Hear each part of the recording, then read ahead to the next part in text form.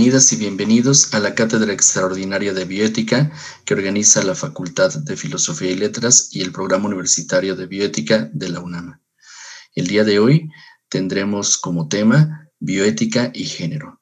Y nuestro invitado es el doctor Jorge Alberto Álvarez Díaz, quien es profesor titular C por tiempo eh, determinado del Departamento de Atención de la Salud de la División de Ciencias Biológicas y de la Salud de la UAM Xochimilco. Obtuvo el Premio a la Docencia 2016. Es médico cirujano, máster en Ciencias Humanas y Sexualidad, siendo, eh, siendo sexólogo clínico y educador sexual, certificado por la Federación Latinoamericana de Sociedades de Sexología y Educación Sexual. Es especialista en bioética fundamental, en bioética clínica, en ética de la investigación biomédica y psicosocial. Tiene la maestría en bioética y es doctor en ciencias sociosanitarias y humanidades médicas, especializado en bioética, con postdoctorado en bioética. Es miembro del Sistema Nacional de Investigadores del CONACIT Obtuvo el premio Manuel Velasco a la, excelencia en bioética en 2007, otorgado por la OPS, y eh, tiene distintos eh, reconocimientos a nivel nacional e internacional. Y para nosotros es un gusto eh, contar con la presencia del doctor Jorge Álvarez. Gracias. Pues muy buenas tardes a todas, a todos, a todes. Eh, esto que a veces lo toman un poco a, broma, eh, tiene sentido y espero que al final de, la charla le, tomemos el sentido que, queremos transmitir cuando hablamos del todas, todos y todes. Eh, tiene que ver con las cuestiones que vamos a, trabajar.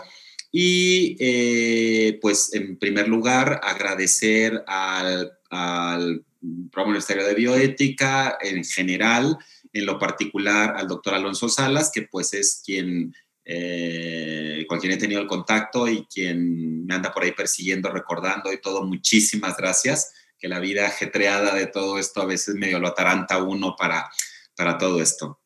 El tema del que vamos a hablar y a tratar de abordar algo es, eh, pues precisamente como indica el título, una cierta relación entre la bioética y que es un campo disciplinar que ustedes muy bien conocen por estar por aquí en la cátedra, y el género, que pertenece, al menos en principio, a otro terreno, a otro campo disciplinar. La forma como podríamos relacionarlo, pues depende si ponemos la conjunción, que es, eh, como me, me sugirieron el título de la charla, bioética y género, eh, podría haber sido una disyunción y hablar de bioética o género. Entonces ahí veríamos que no hay puntos de unión, sino más bien puntos eh, para poner como en un terreno y en otro. Y, además podríamos utilizar otro tipo de conectores, como hablar de bioética en el género o bioética desde el género, o ponerlo al revés, género en la bioética o género desde la bioética. Como todo esto son muchísimas relaciones, por eso preferí conservar eh, el título sugerido de bioética y género, hablando primero de modo muy amplio sobre el género y, dejando para el final las reflexiones que tienen que ver propiamente con la parte eh, bioética. Eh, evidentemente, como bien saben, hablando de una ética de la vida y de la salud, que es la bioética, pues voy a tratar de retomar eso una vez que podamos pincelar un poco qué es eso del género. Me parece que hay no solamente usos, sino a veces malusos y abusos del término género y a veces estamos leyendo una palabra cuando debería de estar otra o a veces queremos transmitir una idea con este término cuando lo que queremos decir es otra cosa. Entonces, toda la primera parte larga de la charla hablaré yo fundamentalmente sobre género, género en relación con diferentes cuestiones de las vivencias de, las personas. Eh, los animales no humanos tienen sexo, pero no tienen género. Entonces, esta es una cosa que empezaremos a, dislucidar eh, a lo largo de la charla. Eh, también para las intervenciones que tenemos por ahí en, redes sociales, yo voy a eh, hacer un, un, alto, me parece que un par de veces en el camino, para ver si hay algún comentario hasta ese momento y resolver en ese momento algún, alguna interacción con, con quien nos escucha, nos ve en este momento. Y de todas maneras, al final habrá pues otro momento amplio para para interactuar. No me gusta tanto hablar de preguntas y respuestas porque parece como que uno es el que sabe y los demás no. Y no, la verdad es que siempre quienes exponemos, pues aprendemos con lo que nos comparten en este tipo de, eventos. Entonces, la charla está dividida en algunas secciones que yo voy a ir poniendo así en una imagen amplia con algunos títulos para poder eh, decir de qué va esa, esa parte. Son siete, ocho partes, la, ocho partes las que está dividida la charla, entonces vamos a empezar a ver cada una de ellas. Primero hay que partir de esta idea del sexo y de la diversidad sexual. Si hay algo que es característico de los seres humanos, es que somos diversos, diversos en todo sentido. Mm, tenemos diferentes colores de piel, de ojos, eh, hay cosas que nos gustan y cosas que no nos gustan. Bueno, eso tiene que ver también con la vida sexual. Vamos a hablar entonces primero qué entendemos por sexo y por este tipo de diversidades, que como las diversidades son muchas, veremos algunas eh, más adelante. En algunos momentos van a ver alguna cosa como esto. Esto es un artículo que publiqué recientemente eh, en donde esta primera parte de reflexiones las aplico yo específicamente para problemas de salud. Este artículo se llama La necesaria perspectiva de género para el análisis de problemas de salud. ¿Por ¿Qué cuento en ese artículo para ver de qué vamos a, empezar a dividir todo esto? Pues que cuando se analizan problemas de salud, lo más común, y de hecho así terminaré la charla porque es muy complejo analizar problemas de salud por cuestiones de género, lo más eh, fácil, lo más socorrido es dividir por sexo. Es decir, las mujeres se enferman de estas cosas y los hombres se enferman de estas cosas. Hay cosas de las que enfermamos los dos, hombres y mujeres, pero algunas de las razones por las cuales podemos enfermar o podemos recuperar la salud tienen que ver con el sexo, con la parte biológica y otras tienen que ver con el género. Tienen que ver con la forma como nos desarrollamos en la sociedad dependiendo de las expectativas que esa sociedad tiene de nuestros cuerpos sexuados. Entonces, por eso hay que hacer distinciones. No es lo mismo hablar de hombre y de mujer que de masculino y femenino. Eso vamos a llegar un poquito con, con esta charla.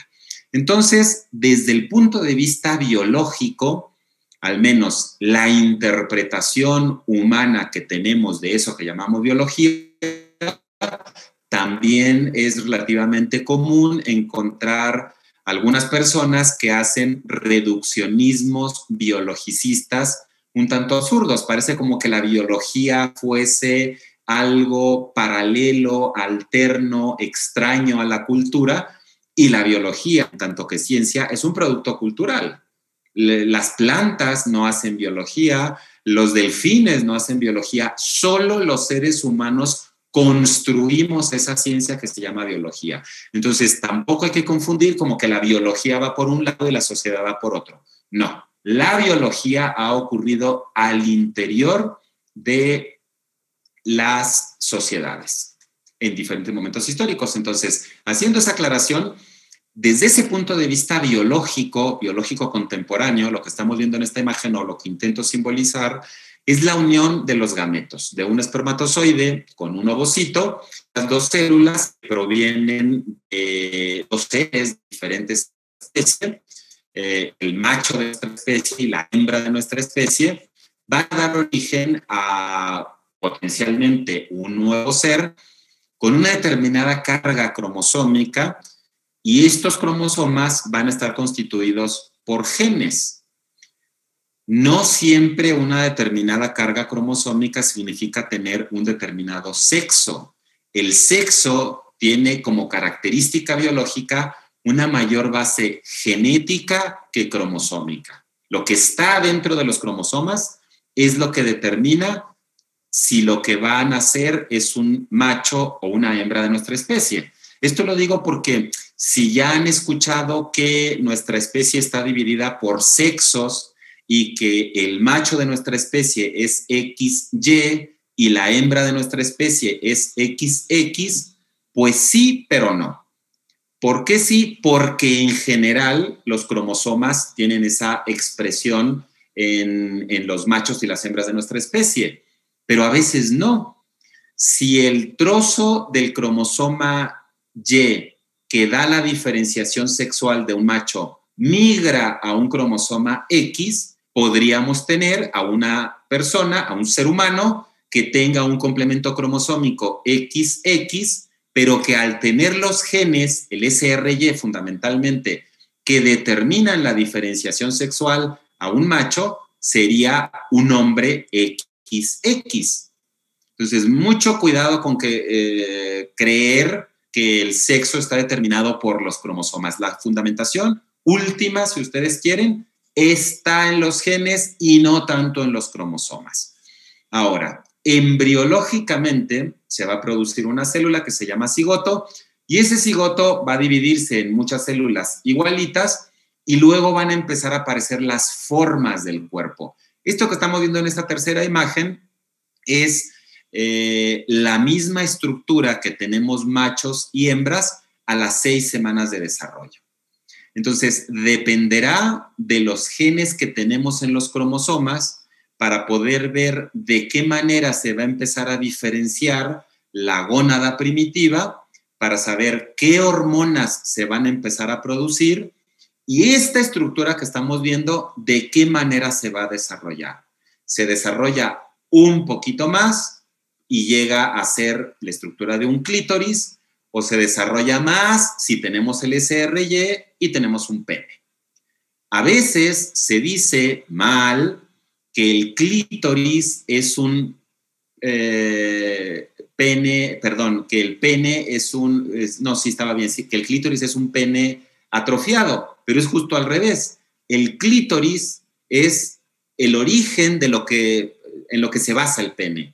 El pene es un clítoris desarrollado. Si hay SRY, hay pene. Si no hay SRY, hay clítoris, independientemente de los cromosomas que tengamos. Entonces, como ven, es un poquito más complicado la parte genética, cromosómica y embriológica para saber si hay un macho o una hembra de nuestra especie.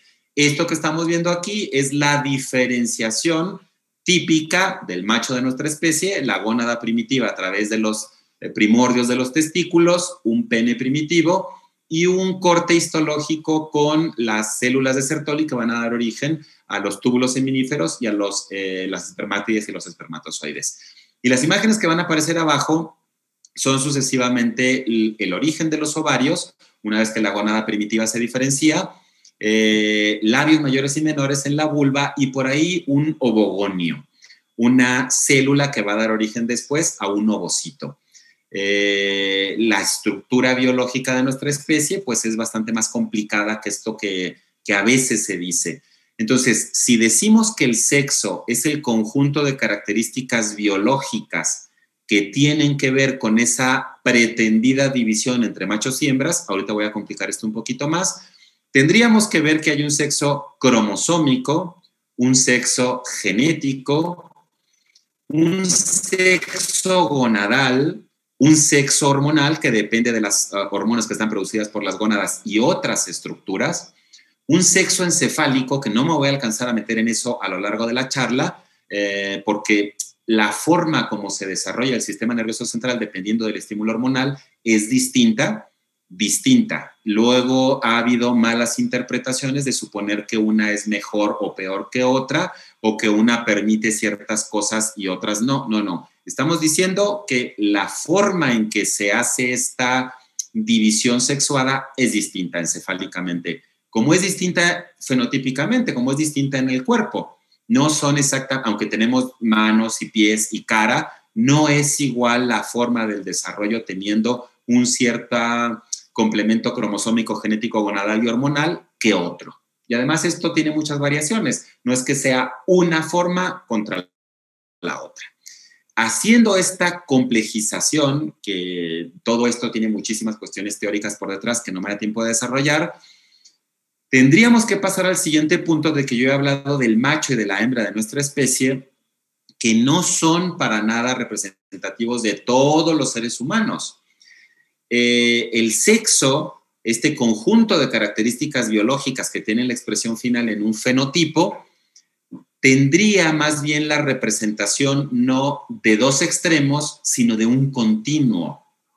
Este continuo es lo que intento representar con la flecha que está arriba, que va de un extremo a otro, en donde lo que solemos identificar de modo muy claro es un extremo que tenemos aquí a la mujer con potencialidad reproductiva y el otro extremo a un hombre con potencialidad reproductiva. Ya el macho de nuestra especie, la hembra de nuestra especie, se cría en la cultura y entonces se le asigna la categoría social de hombre y se le asigna la categoría social de mujer al sexo que tienen. Es decir, hombre y mujer ya son también cuestiones que han sido creadas en la cultura. No son realidades biológicas paralelas o extraculturales. No, no, no, no, no. La cultura determina que el macho y la hembra los denominemos hombre y mujer. Comúnmente, si tenemos un perro y una perra, pues hablamos del macho y de la hembra, no de que tengo un perro hombre o una perra mujer. Eh, eh, no va por ahí la cosa. Entonces, hombre y mujer son categorías que ya las tenemos asignadas por la cultura y además suponemos que las tenemos que decir eh, cuando nace un, bebé. yo siempre digo esto, quienes tengan experiencia en atención a la salud, nace el bebé y lo primero que pregunta la madre habitualmente no es si está bien o no, que es lo que le interesa a uno desde el punto de vista de salud, sino si es niño o niña. Y hay que darle alguna respuesta y no siempre podemos dar esa respuesta. ¿Por qué? Pues porque estos extremos, que son fácilmente identificables, pueden tener hacia el medio diferentes fenotipos.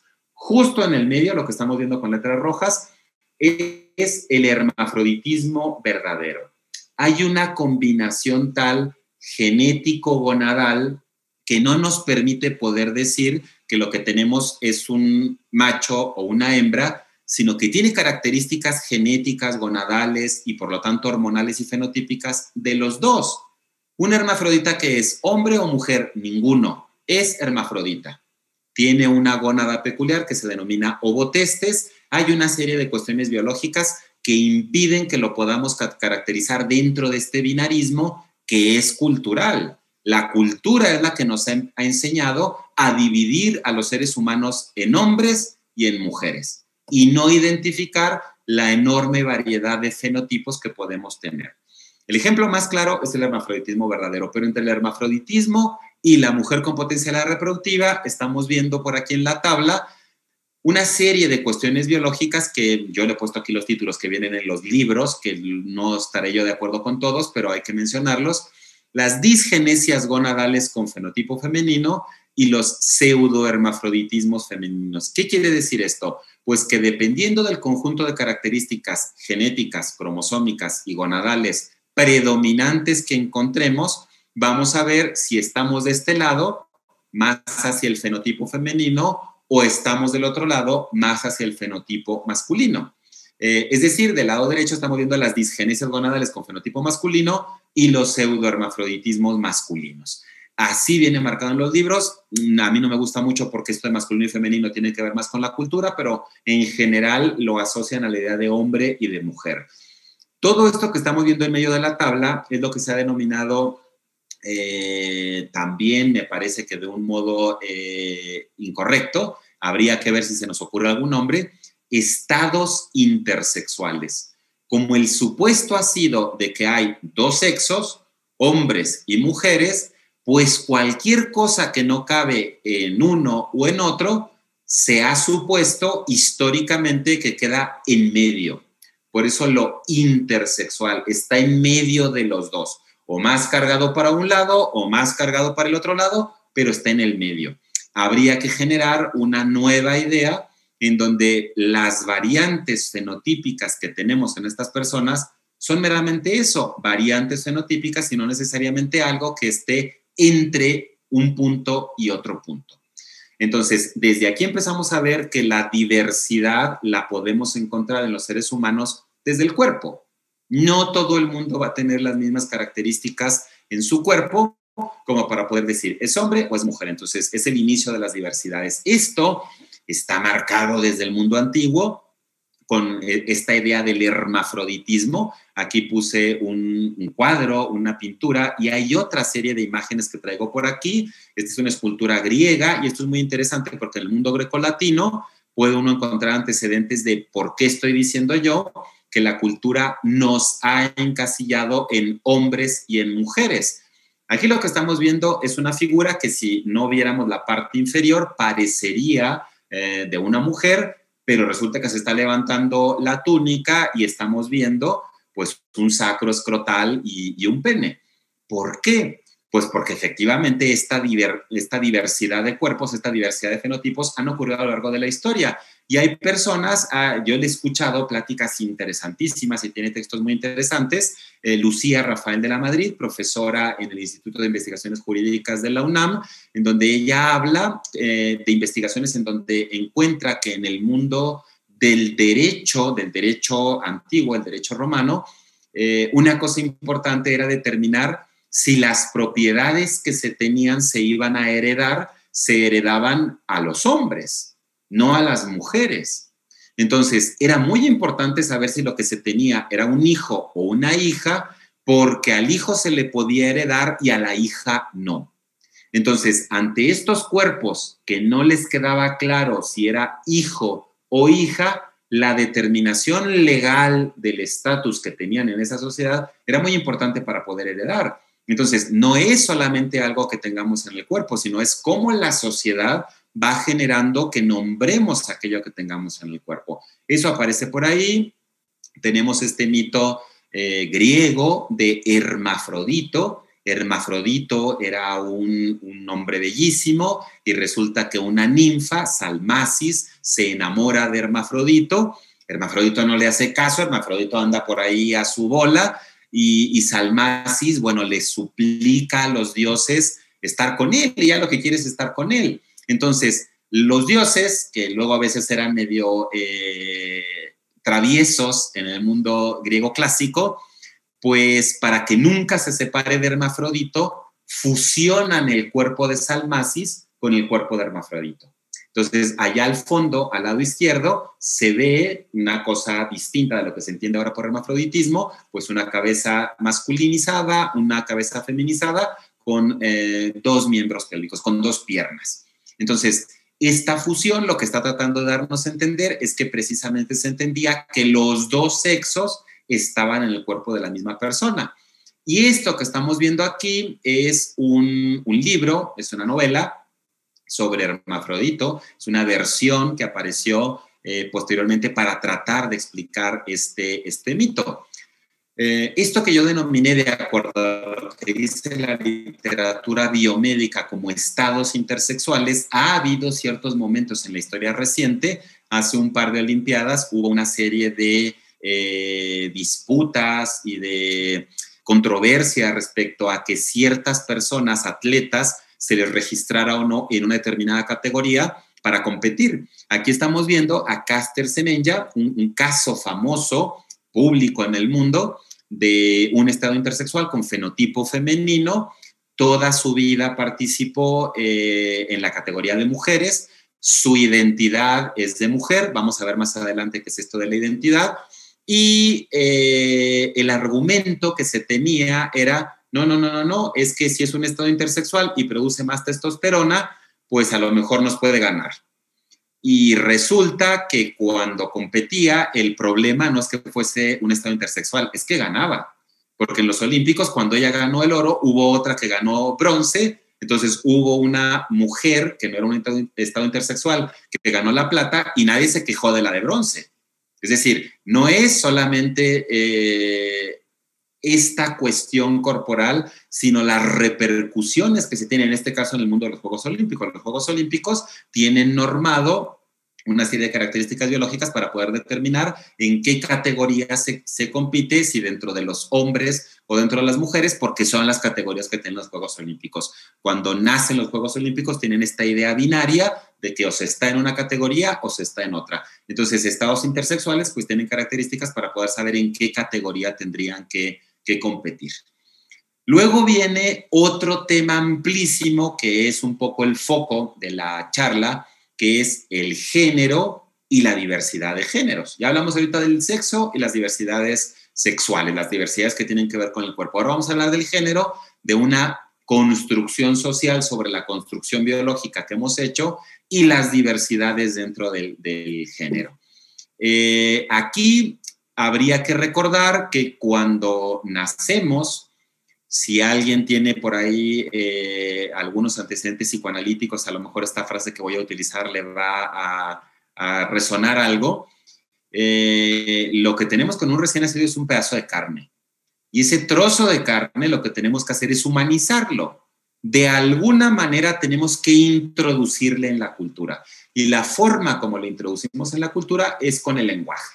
Se le enseña a hablar y a través del habla, a través de unir palabras con ciertos significados que eh, remiten a ciertos significantes, pues vamos construyendo el, mundo los límites de nuestro mundo son los límites de nuestro lenguaje. Eso lo saben ustedes mejor que yo, de acuerdo a Wittgenstein y toda la corriente eh, de filosofía analítica. Entonces, si yo tengo un recién nacido, como eh, lo vemos en la imagen, una persona recién nacida, para no suponer si es niño o niña, eh, hay una serie de cuestiones muchísimas alrededor de la cultura que, van haciendo que los, los seres humanos nos sintamos identificados con un niño o con una niña. Esto que están viendo aquí, que a lo mejor eh, se ve raro, es para recordarles, sobre todo a los que sean más jóvenes, cuando yo era niño, que ya tengo mi edad, pero había eh, huevo kinder, el huevo kinder er, era parejo, no, no, no había una distinción con el huevo kinder. Resulta que en algún momento, hace unos pocos años, estaba yo en un centro comercial y se acerca un pequeñito, no sé cuántos años tendría, dos, tres, muy, muy pequeño, me jala del pantalón y me dice, señor, señor, me pasa un huevo kinder. Pues yo le pasé un huevo kinder. Y me dice eh, la criatura, me dice, no, este no, señor. digo yo, pero ¿por qué no? Me dice, este es de niña. Yo quiero uno de niño. Resulta que el huevo kinder, ya tenemos huevo kinder de niño y huevo kinder de niña. Pues en el huevo kinder de niña, pues tenemos por ahí a la chiquita, al pony, a, lo que tradicionalmente la cultura dice que las niñas tienen que jugar, y con el huevo kinder de niño, pues al cochecito. Entonces, eh, los juguetes son para jugar, no hay juguetes de niño y juguetes de niña. Eh, sería completamente sano, deseable que un niño jugara las muñecas para que se empiece a responsabilizar con lo que después puede tener de carne y hueso, por ejemplo. Entonces, depende que sea lo que tengamos nosotros, los adultos, en, nuestra construcción psicosocial de qué es ser un hombre y qué es ser una mujer, porque todo eso lo transmitimos. Nos demos cuenta o no, lo transmitimos. Esto que estamos viendo del huevo kinder generizado, es decir, huevo para niño, huevo para niña, pues ya es una introducción de la cultura en donde los niños van aprendiendo todo esto. Eh, a mí me gusta recordar con imágenes que ya no sería fácil tener en el momento actual, en la publicidad actual, eh, como esta. Les voy a presentar algunas imágenes eh, históricas, vintage, dicen ahora, respecto de cómo se ha representado a la mujer en la publicidad. ¿Quieres decir que una mujer lo puede abrir? con una salsa por ahí famosa. Es decir, si lo puede abrir una mujer, pues cualquiera lo puede abrir.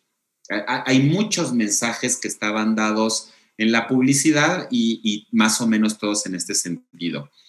Muchos hombres preguntan, ¿es bonita? No.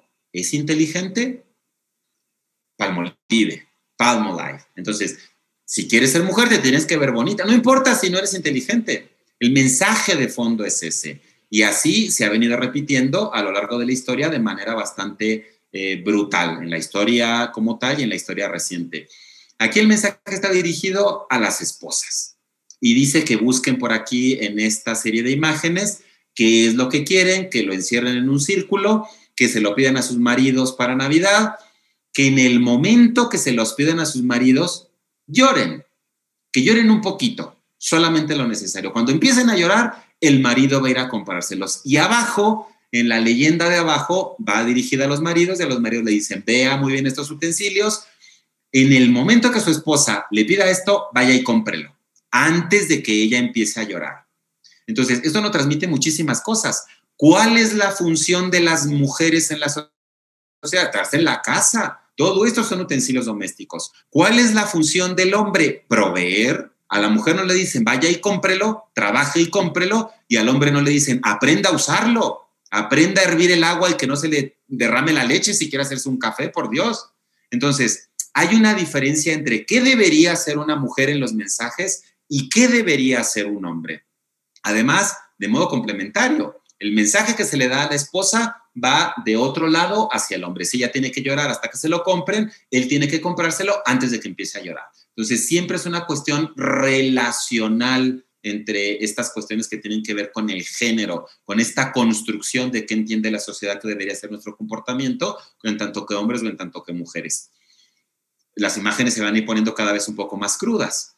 Muéstrale que es un mundo de hombres. Y la mujer está de rodillas, no metafóricamente, está de rodillas. Se supone que el comercial está destinado para las corbatas, pero la forma como lo están expresando, vamos, hoy no sería posible, no sería tolerable con lo que hemos avanzado, aunque nos falta mucho, algo hemos avanzado. Hoy no sería tolerable ver una publicidad en ese sentido para una corbata, ni para nada.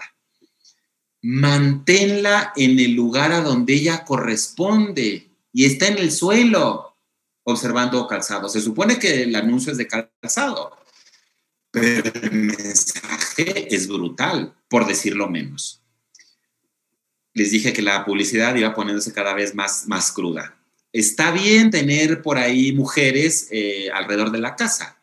¿Para qué? Pues literalmente para pasar por encima de ellas. Es, una alfombra lo que estamos viendo aquí con esta, con esta mujer.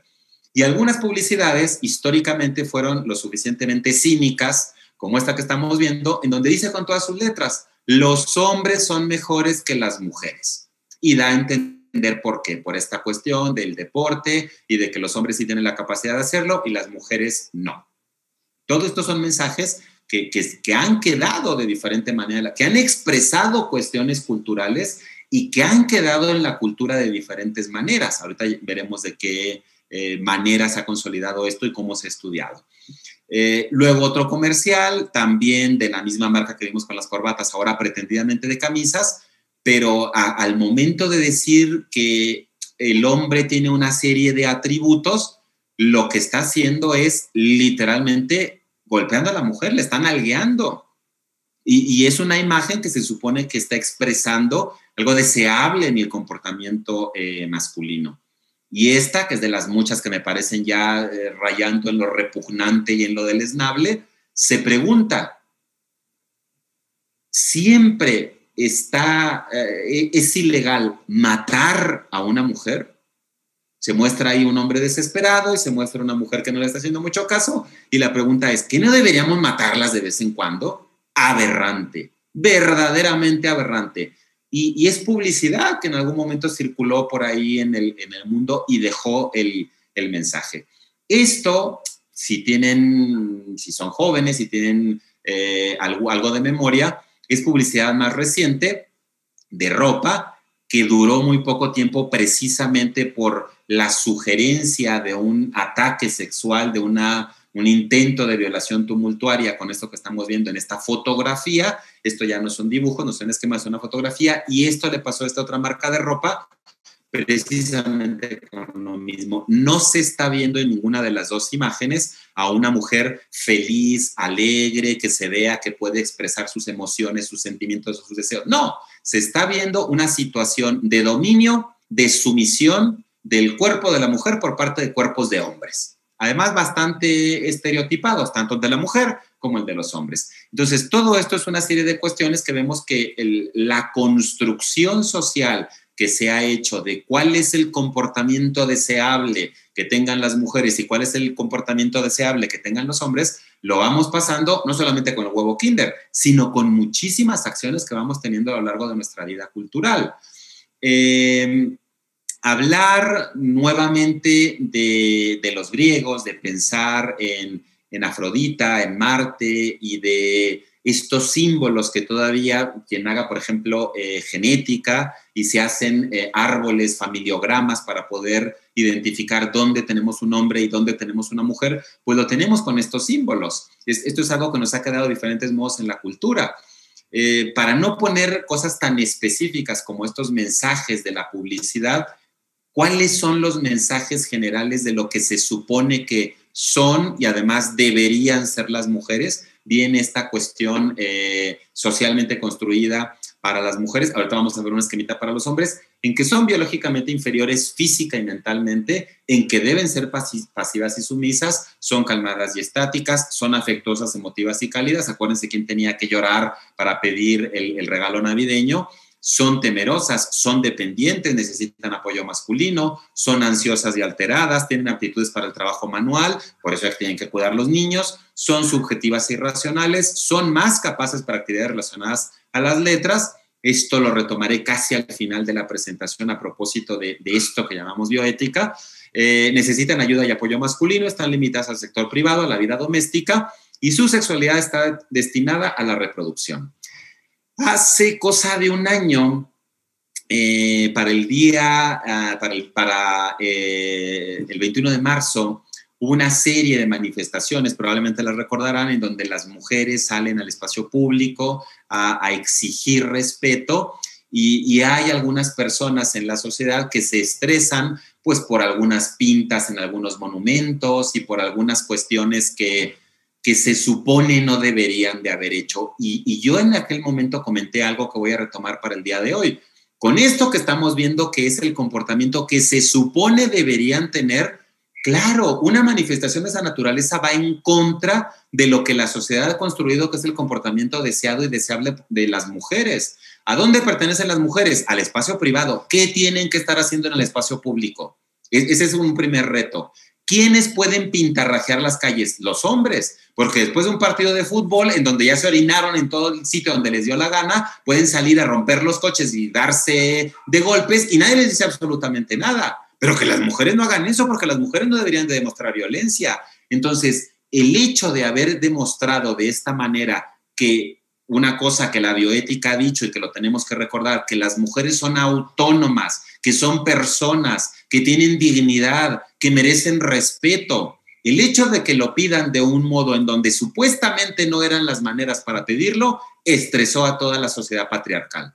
No he mencionado el término patriarcado, pero llegaré para allá más adelante. Pues precisamente porque esos comportamientos no caían dentro de esto que dice esta imagen estereotipada de lo que deberían ser las mujeres. Y ante esto, ¿cuál es el comportamiento que se supone socialmente deseable eh, para los hombres? Pues se supone que los hombres son biológicamente superiores, física y mentalmente, pueden ser agresivos y dominantes. Ya vimos la publicidad donde le pegan a la mujer y nadie dice nada.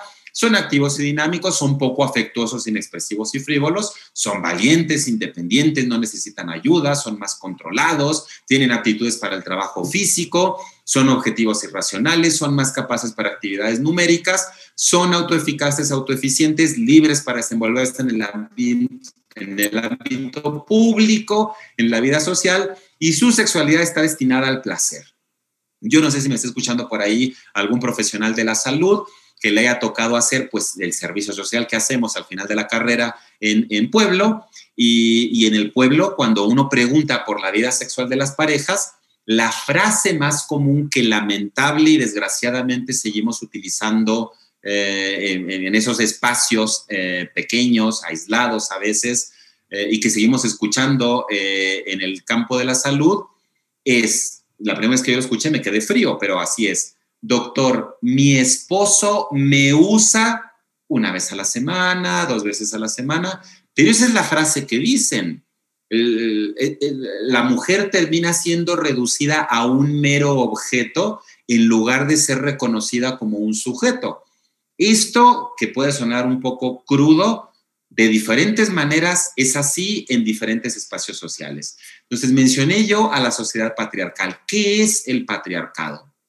El patriarcado, según el, programa de Naciones Unidas para el Desarrollo, en esta definición del 2006, que me parece bastante completa y, digna de compartir, es comillas, es un sistema de organización social basado en el poder de la figura del pater, esta figura que está representada por el hombre y lo masculino, elevado a la categoría política y económica y generalizada a todos los ámbitos de actuación donde se reproduce el sistema de jerarquía y dominación masculina.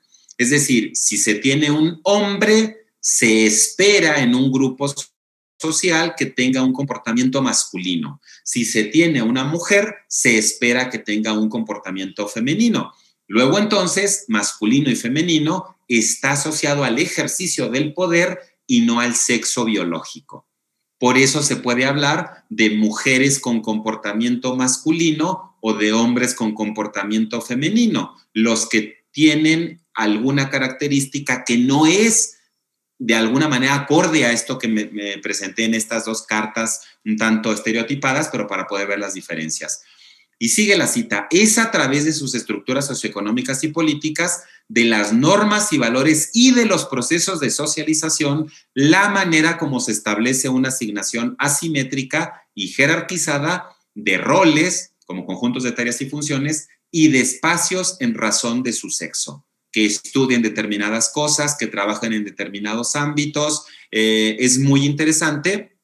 Eh, decíamos un comentario antes de de, la charla, hablaba yo con el doctor Alonso Salas acerca del Sistema Nacional de Investigadores. Eh, es muy curioso, si uno ve la cantidad de personas que tiene el SNI, pues son un poco más de 38 mil. No tengo los datos aquí a la mano, pero por ahí anda. Está dividido por niveles, candidato, nivel 1, nivel 2, nivel 3 y emérito. A medida que se va avanzando en los niveles, hay más hombres en relación con las mujeres. En el nivel 1 hay muchas más mujeres que hombres, pero en el nivel 3 hay muchos más hombres que mujeres. Esto representa algo. No quiere decir que las mujeres no puedan o no quieran llegar. Algo ocurre estructuralmente en las sociedades que facilita la llegada de los hombres a esos niveles o al nivel de mérito, en donde ya se tiene que ver también una cierta cuestión con la, la edad, la permanencia dentro del sistema, que la llegada de las mujeres. Y tiene que ver con estas figuras patriarcales de los espacios que se les permite ocupar a lo masculino y lo que se les permite ocupar a lo femenino. Y cierra la cita diciendo, se atribuyen a mujeres y a hombres distintos trabajos y valor, así como distintas responsabilidades y obligaciones. Y esto explica de alguna manera la forma como la sociedad se va organizando. Por lo tanto, en general, a las mujeres les corresponde el comportamiento femenino, a los hombres les, corresponde el comportamiento masculino, las mujeres destinadas al espacio privado, a la vida emocional, a la subjetividad, eh, los hombres al espacio público, al trabajo, al dinero, al espacio social. Siempre vamos a ver esta relación porque es imposible pensar en la construcción social de las funciones de las mujeres si no están los hombres y al revés. Entonces, siempre es una cuestión relacional, tanto el sexo como el género. Y cuando uno lo ve con algunos autores, pues claro, ¿quién ha hablado de esto eh, desde las ciencias sociales? Un sociólogo francés eh, famosísimo y muy, muy reputado, muy importante, pues Pierre Bourdieu. Pierre Bourdieu nos habla en este libro de la dominación masculina. Lo que genéricamente le corresponde a lo masculino es dominar. Y no es curioso que lo haya escrito un hombre. Es, es una cosa que también tenemos que rescatar. Y luego vemos este otro texto, me parecen los dos muy emblemáticos, muy representativos, de una mujer. Si lo, son, si lo masculino tiene que dominar, ¿qué es lo que le corresponde a las mujeres? El cautiverio. Y este libro de Marcela Lagarde, que fue su tesis doctoral eh, maravilloso, Marcela Lagarde de los Ríos, se llama Los cautiverios de las mujeres y luego el subtítulo es los posibles cautiverios que pueden tener las mujeres dentro de la categoría de lo femenino, que es la categoría de madre esposa, de monja, puta, presa y loca. Es, es, algo interesante que todo esto cobra sentido si y solo si se está enfrente de quien les está dominando en alguno de estos cautiverios. De otra manera, no puede tomar sentido. Entonces, dentro de la teorización de Bourdieu, pues se habla de, en este caso para los varones, de la dominación y otra categoría muy de Pierre Bourdieu es la categoría de hábitus. El hábitus es un sistema de categorías, percepciones, pensamientos, acciones y apreciaciones que son producto de la incorporación. Y esto es interesantísimo porque se incorpora en pleno sentido etimológico. Lo hacemos cuerpo, lo expresamos con el cuerpo, lo vivimos con el cuerpo. La forma como nos paramos, como caminamos, como hablamos, como nos expresamos en el espacio público y en el espacio privado, en tanto que hombres y mujeres lo adquirimos en la cultura, lo hacemos un hábitus. Luego ya no nos ponemos a pensar si lo estamos haciendo de modo masculino o de modo femenino. Lo hacemos, punto. Y frente a esto encontramos el cautiverio. Quien dicta qué es lo que se va a hacer de esta manera, pues es la dominación masculina. Esto que estoy tratando de poner en la imagen es eh, para ver algo que voy a mencionar más adelante, casi al final de la charla, Evidentemente el patriarcado subyuga a lo femenino, eh, pero también subyuga a lo masculino. Es decir, lo único que puede estar dominando y oprimiendo a todo lo demás es un cierto tipo de masculinidad, no lo masculino en abstracto, una masculinidad hegemónica que reúne todas las características y más de lo que presenté en la imagen. Entonces, si hay un hombre que exhiba algún tipo de comportamiento que no vaya acorde con alguno de estos comportamientos deseables, entonces se le feminiza y por lo tanto eso es malo. Aquí hay algunas frases, pareces una nena, lloras como una mujer, los hombres no sufrimos, sea un hombre, te gusta el color rosado y qué gay. Eh, hay muchísimas frases bastante más crudas que se utilizan en, pues en México, sin ir más lejos, eh, algunas sancionadas incluso por organismos eh, deportivos, que supongo que se imaginarán de qué eh, palabra prohibida estoy hablando, que precisamente es esto, es el uso peyorativo para poder decir que un hombre que tiene un comportamiento supuestamente asociado con lo femenino es inferior. No es lo suficientemente hombre que la sociedad, que la cultura espera que se comporte. Hasta aquí no sé si hay alguna pregunta o comentario porque me faltan todavía otras cosas para hacer esto más complicado de, lo que llevamos. A ver si lo aclaro y luego avanzamos otro trozo. Sí, hay algunas preguntas, Jorge. Muy bien, muy bien, adelante. A ver si ya lo eh, mencioné o si lo voy a mencionar más adelante. Sí, claro. Pues son preguntas, comentarios, ¿no? Eh, mm. Dice eh, Aguazzi del Sur Mariano. ¿Es más poderosa la cultura que la biología? Alba, Arellano dice, es más fácil respetar a las personas por el simple hecho de ser personas. Eso de entrar en cuestiones de gusto, sexo y género es meterse en problemas con algunas personas. Jesús Javier Briceño dice, el ser humano es más cultural que biológico. He ahí el asunto. Y Vilos Nosnip Dice, Joan Scott desde el siglo XIX habla y describe esta, esta construcción desde la historia. La construcción del hombre, que es registrado promovida por el cine de oro mexicana del hombre mexicano, mujeriego, borracho, etcétera, que en muchos sectores se reproduce actualmente, especialmente por los que se quieren identificar como parte del pueblo, es preocupante, ya que no quieren cambiar o mejorar, ya sea por sus parejas, o hacia crear nuevos tipos de relaciones para romper estos estereotipos de Jorge Negrete y estos actores de películas. Y Sandra Ramírez dice, felicidades por la conferencia, me permito exponer algunos conceptos. Sexo es diferencia biológica, género, dos puntos, eres mujer u hombre, identidad, soy mujer y me asumo como mujer, o soy mujer pero me asumo como hombre. Soy hombre y me asumo como hombre, o soy un hombre pero me asumo como mujer. Por último, orientación psicoerótico-afectiva.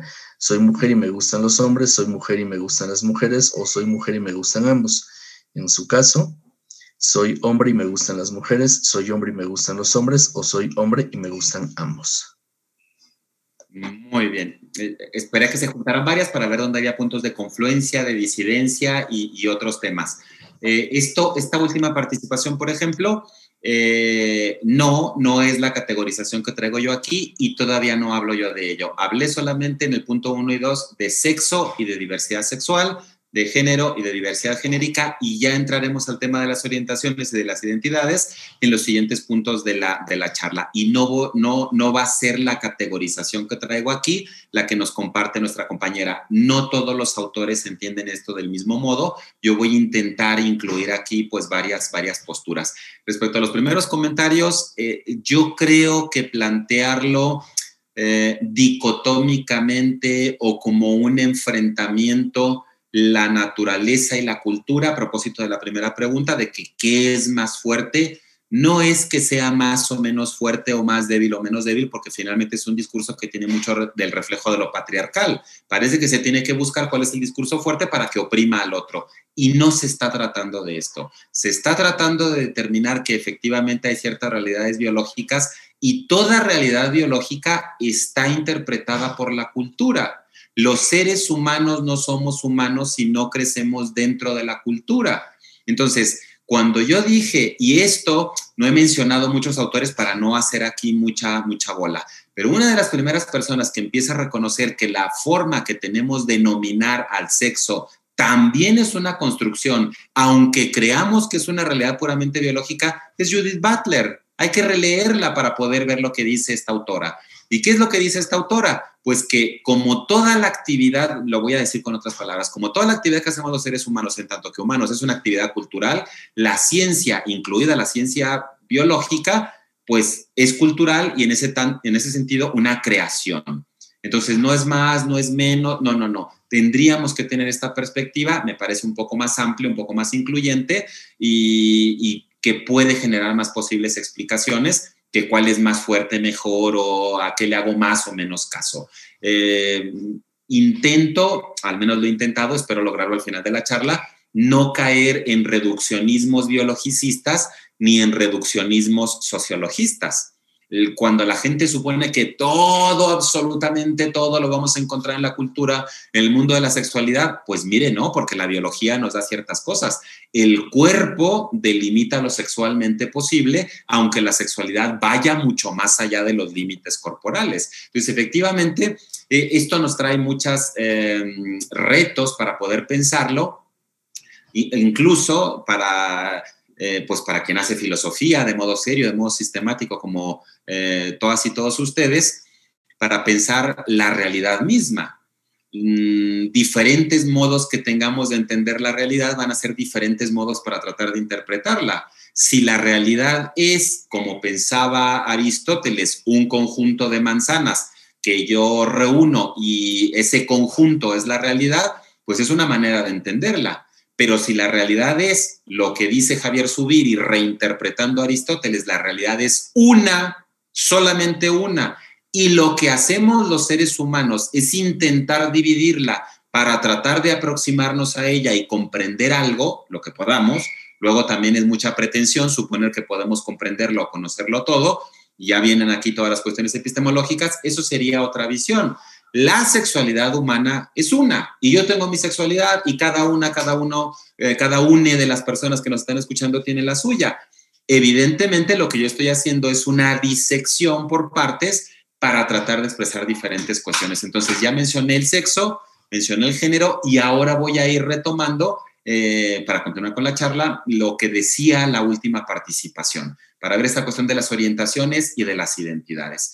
El tercer punto que traigo de la charla, de ocho puntos, espero que me dé el tiempo para compartir todo lo que quiero compartir, es la orientación que yo le denominé aquí sexogenérica y la diversidad de orientaciones. Aquí hay diferentes posturas con diferentes autores. Hay quien habla de orientación y hay quien habla de preferencia. Eh, yo puedo preferir desayunar o no desayunar, puedo preferir desayunar huevo o pan tostado o un cereal, pero no puedo preferir si el día de hoy me gusta eh, una mujer y el día de mañana me gusta un hombre y el día de pasado mañana no me gusta nadie. Entonces, mm, el término que a mí me parece más adecuado, con muchas más consideraciones que ahorita no me va a dar tiempo a desarrollar, para expresar qué tipo de seres dentro de los seres humanos son los que generan algún tipo de vivencia placentera en, nosotros, en tanto que que seres humanos, a eso lo he denominado yo orientación. ¿Por qué? Pues porque así como cuando agarramos una brújula y marca siempre el polo norte magnético, en la orientación tenemos una cierta brújula en donde hay una serie de realidades humanas que nos producen este tipo de vivencias placenteras, placenteras en un sentido también muy, muy amplio, que no tienen que ver solamente con el ser hombres o mujeres o estados intersexuales, es decir, con la parte sexual, y tampoco solamente con la parte genérica, porque habrá algunas personas que les guste el hombre muy estereotipado, muy masculinizado, muy Jorge Negrete, Pedro Infante, y habrá algunos, algunas personas en donde a lo mejor les gusta otro tipo de hombre que pueda no estar tan masculinizado y que sea pues más suave, más sutil, utilizan el término que les parezca un poco mejor.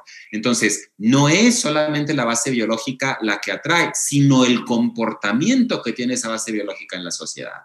Entonces, en ese sentido, efectivamente, las palabras que se han acuñado es sobre qué tenemos ese tipo de atracciones. Ya no mencioné otras cosas que iré poniendo de los ejemplos más adelante con las participaciones. Quien haya visto el cine, no solamente el, cine de la época dorada nacional, vean las películas de Hollywood, vean Bollywood. En Bollywood pasan cosas parecidas, ¿eh? no, no porque sea la India es diferente, se expresa diferente el patriarcado, si ustedes quieren pero de todas maneras la categoría de que lo masculino subyuga a lo femenino está presente. Es una de las pocas constantes que podemos encontrar, encontrar casi transhistórica y casi transcultural.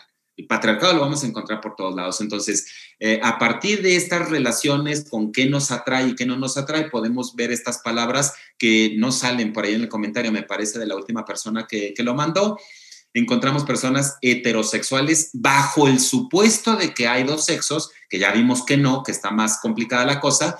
Eh, hay diferentes fenotipos en diferentes tipos de corporalidades. Se han acuñado los términos de heterosexualidad, hetero distinto. Entonces, si yo soy hombre, me gustan mujeres, si soy mujer, me gustan los hombres, que es lo que intento representar con esta imagen. Homosexualidad, si soy hombre y me gusta otro hombre homosexualidad, si soy mujer y me gusta otra mujer, se suele hablar de homosexualidad masculina y homosexualidad femenina, y la bisexualidad, que si soy hombre me gustan los hombres y me gustan las mujeres, y si soy mujer me gustan los hombres y me gustan las mujeres. También está la posibilidad de la asexualidad, que no me guste nadie, que nadie tenga la posibilidad, que, que, yo como persona no sienta ningún tipo de atracción ni hacia hombres, ni hacia mujeres, ni hacia estados intersexuales, hacia nadie. Eso es un poco más reciente en, muchos sentidos. En la teorización, en la parte empírica, lo más común ha sido hablar de la hetero, homo y bisexualidad, eh, que parece ser que epidemiológicamente pues es la mayor parte de la población. La población asexual existe, pero es una población más pequeña que las otras y probablemente por eso ha estado un poco más invisibilizada a lo largo de la, de la historia en general y de la historia sexológica en, en particular. Entonces, esto, lo que estoy tratando de representar, no es solamente que me gusten hombres, mujeres o los dos, sino que hay ciertas características de su comportamiento que me van a llamar la atención. Si a alguien le gustan los hombres, pues a lo mejor le gustan con barba y con pelo corporal, y a lo mejor a alguien no, y le gusta que no tengan pelo corporal y que no tengan muchos músculos de gimnasio. Eh, tiene que ver también ahí el comportamiento genérico. Entonces, por eso yo lo he denominado, yo como autor de algunos de estos conceptos, la orientación sexogenérica. Y eso es que me gusta, que me atrae, que me puede producir placer. Otra cosa distinta es la identidad y me parece que en el comentario mezclan la orientación con la identidad. La identidad es que pienso yo cómo me veo a mí mismo, a mí misma, a mí misma, en relación con el sexo, con el género, y esto me va a llevar a una diversidad de identidades y dentro de las identidades a la forma como expresamos estas identidades. Y vuelvo al tema sexo genérico porque no es solamente ser hombre o mujer, sino también identificarme como masculino o femenino. Entonces, a ver qué es lo que puse yo aquí. Si seguimos con la idea básica de que hay dos sexos, que es la manera más simple de entender esto, para todos esos otros fenotipos que no han sido considerados, pues en algún momento considerarlos, habría una identidad sexual que puede ser cis o que puede ser trans. El término cis y trans no son de la sexología, no son ni siquiera de las ciencias sociales, son de la química. Si hay por ahí alguien que tenga formación en química, particularmente en química orgánica, cuando tenemos ciertos grupos funcionales que pueden estar del mismo lado o del lado contrario, por ejemplo, de un doble enlace o de algún tipo de radical que es importante en una determinada molécula, hablamos de estos términos. Cis quiere decir del mismo lado. Trans quiere decir del otro lado. Las palabras las inventaron para moléculas que tienen un espacio físico que están ocupando en algún momento. Entonces, se habla de las personas cis cuando nacen con un determinado fenotipo y coincide su identidad con lo que la sociedad dice que son. Es decir, yo nací con pene, la sociedad me dijo, tú eres un niño, yo me lo creí. Entonces yo soy un hombre cis. Pero hay seres humanos, y lo conocemos, que nacen con un determinado fenotipo, la sociedad le dice, tú eres hombre, y estas personas dicen, no, yo soy mujer. El identificarme como hombre o identificarme como mujer no está en los órganos sexuales pélvicos. Eh, eh, es parte de una co-construcción muy compleja que no hemos terminado de entender. Es decir, el día que podamos entender por qué una persona heterosexual es heterosexual ¿Y por qué una persona cisexual es cisexual? Ahí vamos a dar un paso enorme. Eh, yo no sé si se da cuenta en nuestro auditorio en este momento, pero a todo el mundo le interesa saber por qué el homosexual es homosexual y por qué la lesbiana es lesbiana y por qué la persona transexual es transexual. Hombre, que alguien me explique por qué los heterosexuales son heterosexuales. No hay una explicación. Es parte de la diversidad. Hegemónicamente, el patriarcado ha querido encasillar a todo el mundo como heterosexual, pero la realidad nos dice que no, no todo el mundo es heterosexual y no todo el mundo es bisexual. Entonces, para esta cuestión de la identidad, lo más importante para cualquier sexualidad es lo que yo piense de mí mismo, de mí misma, de mí misma. Entonces, si yo me vivo como hombre, eso es lo que cuenta. Si yo me vivo como mujer, eso es lo que cuenta. Y si yo no me vivo como ninguno de los dos, pues también eso tendría que contar. No todo mundo va a tener algún tipo de identidad, sea cis o sea trans. Esto con el cuerpo, con el sexo y también con la cuestión genérica. La cuestión genérica puede ser cis. Si a mí me dijeron que era niño y me lo creí y me gustaba el fútbol y el béisbol y jugar con carritos y salir con la bicicleta a la calle, pues a lo mejor la identidad genérica es cis pero a lo mejor a mí no me gustaba ni hacer nada de esto yo prefería estarme en la casa y haciendo eh, comida y jugando con muñecas, haciendo otras cosas, a pesar de que haya nacido con un cuerpo de hombre, me hayan dicho hombre y yo me haya creído que era hombre. Es decir, se puede tener el cis y el trans desde el punto de vista sexual, con esa serie de categorizaciones biológicas, o desde el punto de vista genérico, con el comportamiento que tenemos social.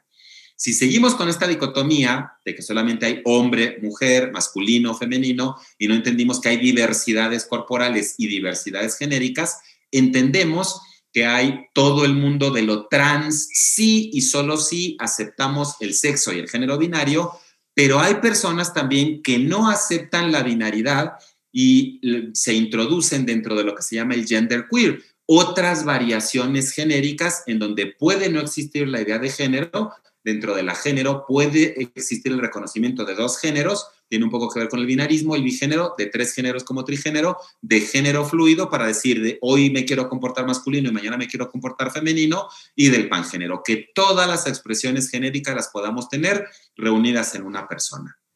Aquí estoy reuniendo varios autores, autoras, entonces también puede ser que no coincida con lo que dicen algunas personas o algunos comentarios. A ver, más adelante voy a hacer otra pausa. Entonces, si seguimos con el binarismo, hombre-mujer, los hombres se visten de una manera, las mujeres se visten de una manera, tenemos el mundo del trans, del otro lado, vestismo. la persona transvesti utiliza ropa del género opuesto, ropa que no le corresponde, la identidad sexual suele ser cis y la identidad genérica suele ser cis, y pueden existir algunas variaciones como el mundo drag y el mundo transformista. Eh, este es un cantante eh, austríaco eh, que le llama la atención la cultura latina, Conchita Wurst, y, y, bueno, vemos que Conchita pues trae una peluca, no es su pelo, trae barba y trae un vestido. Se identifica a sí mismo como hombre, se identifica a sí mismo como un comportamiento masculino, pero se viste de mujer, entre comillas, es decir, con ropa que supuestamente le corresponde al género opuesto.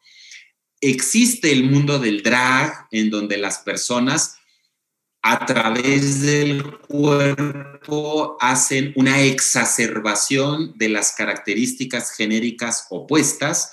No sé si todo el mundo que nos está escuchando en este momento haya visto a, una persona drag, eh, a veces se asocian solamente con el espectáculo y no es así. Y existe el mundo del transformismo. Este chico, por ejemplo, es un chileno que dice de sí mismo en Instagram que es el doble de Madonna y la verdad que se le ve parecido fenotípicamente a Madonna. No es lo mismo la exacerbación transvesti del mundo drag que la exacerbación de lo femenino de una persona en particular. Es decir, si alguien dice, no es que quiera parecer mujer, es que quiere parecer Madonna esto es lo que se denomina en algunos ambientes, en algunos espacios, el transformismo.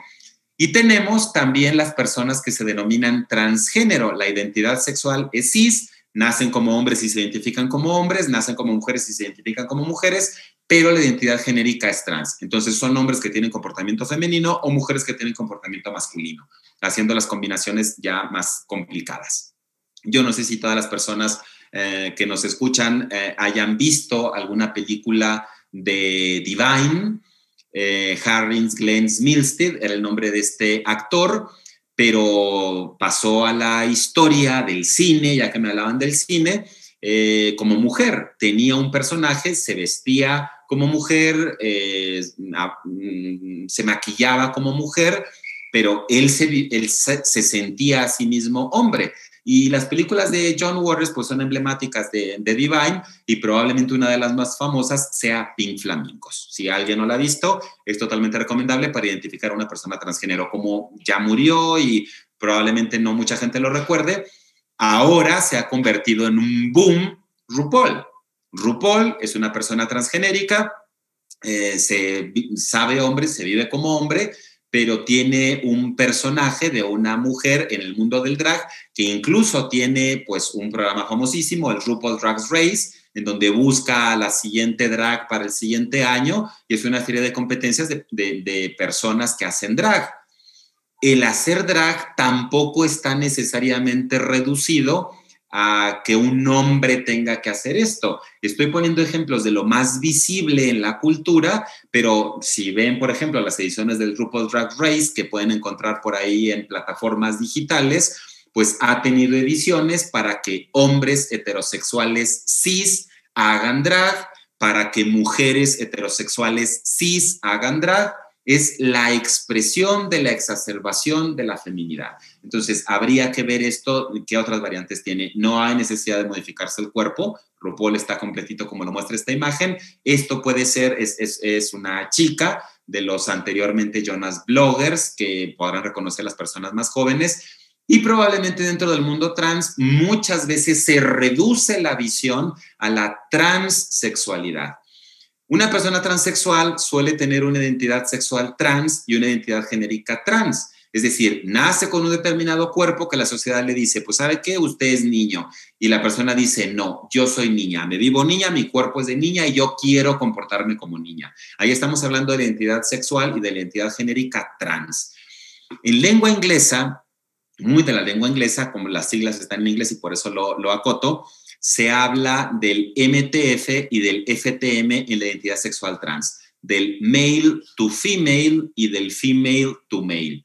Porque se suponía en otro momento de la historia que se tenía que hacer una determinada transición o cambio corporal, que muchas personas lo hacen, pero otras no. Entonces, habrá personas que quieran modificar su cuerpo una vez que se identifican en un sexo que la sociedad les dice que es distinto al que se identifican esas personas, sí, pero no todo el mundo quiere identificar el cuerpo.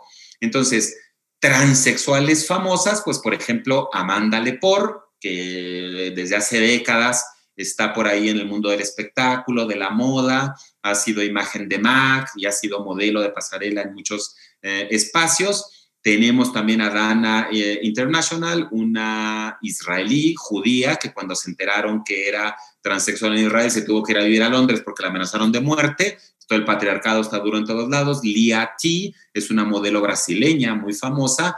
Jenna Talakova, antes de que se hiciera famosa Miss España, Jenna Talakova, pues fue una chica trans que ganó el Miss Canadá y que en ese momento Miss Universo no había adecuado su normatividad para que participara y no pudo ir a Miss Universo, aún habiendo ganado Miss Canadá.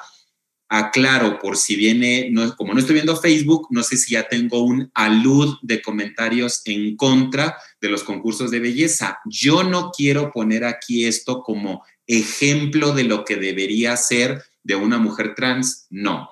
Estoy tratando de representar que ciertos espacios las mujeres trans han llegado. No creo definitivamente que este tipo de concursos sean lo mejor, pero existen. Entonces estoy poniendo lo que hay, no lo que debería haber. Estoy más en el plano ontológico que en el plano ético.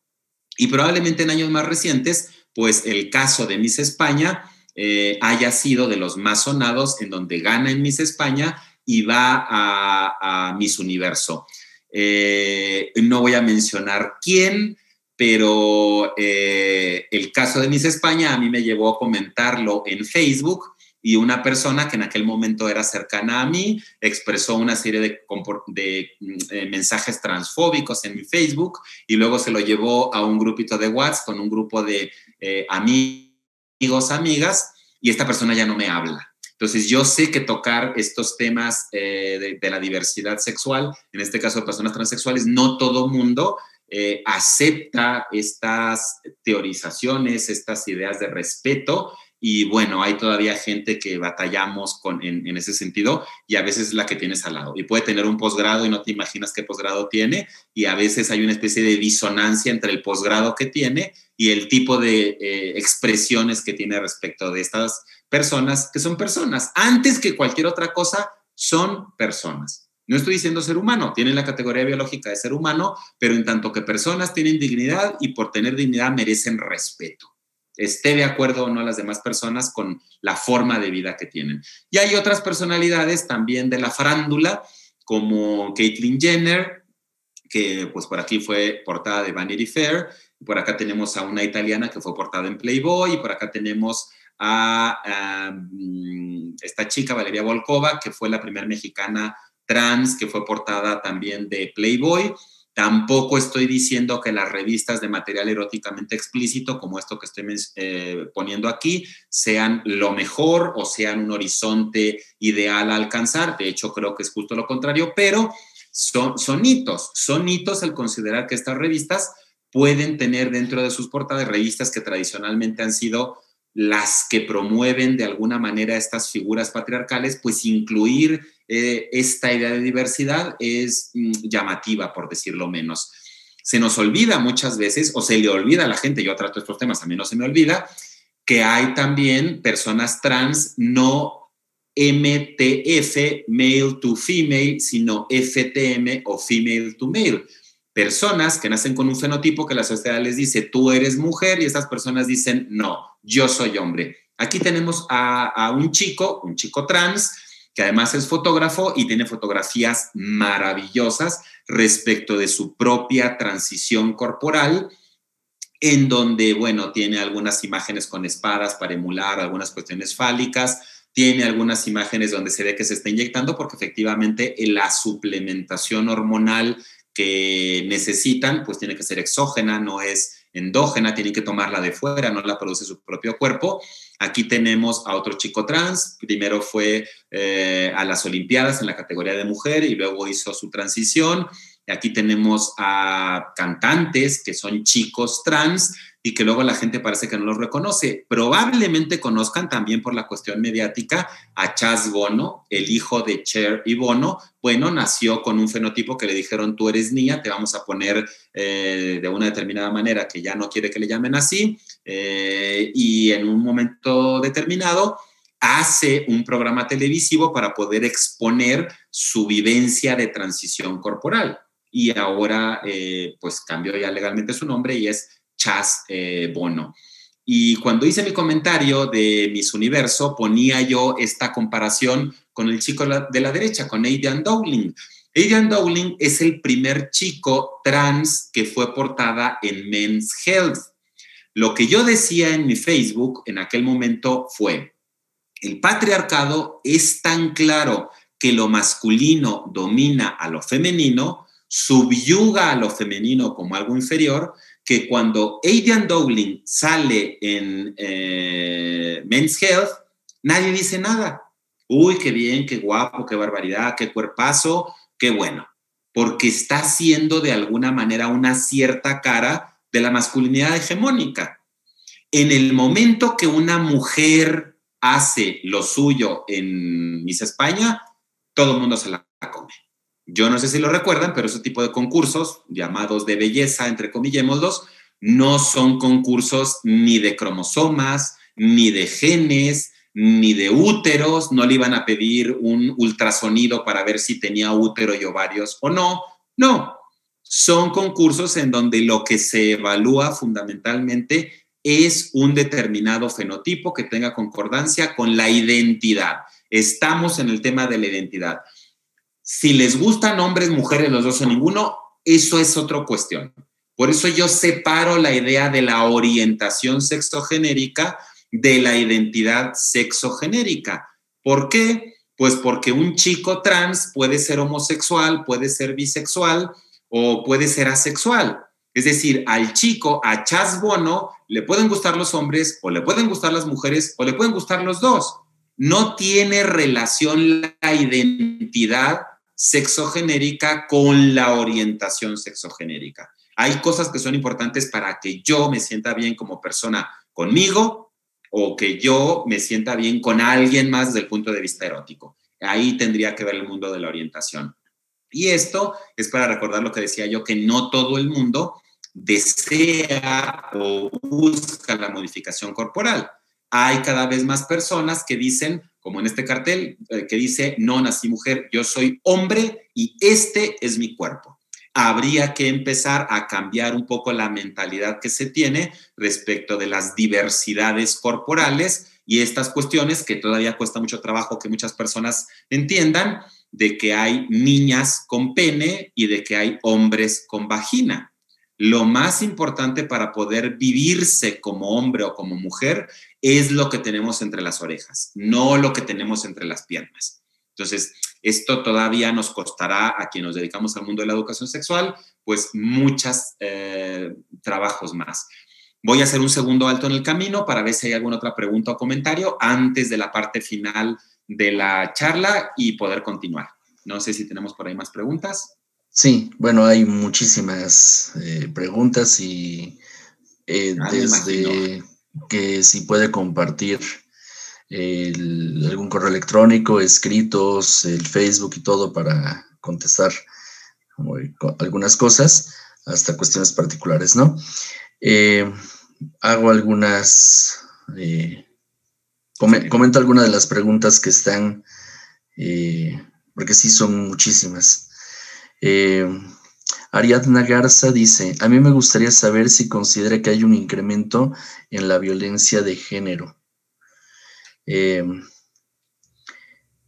dice Alejandra López, ¿qué opinas sobre la relación del patriarcado y la religión?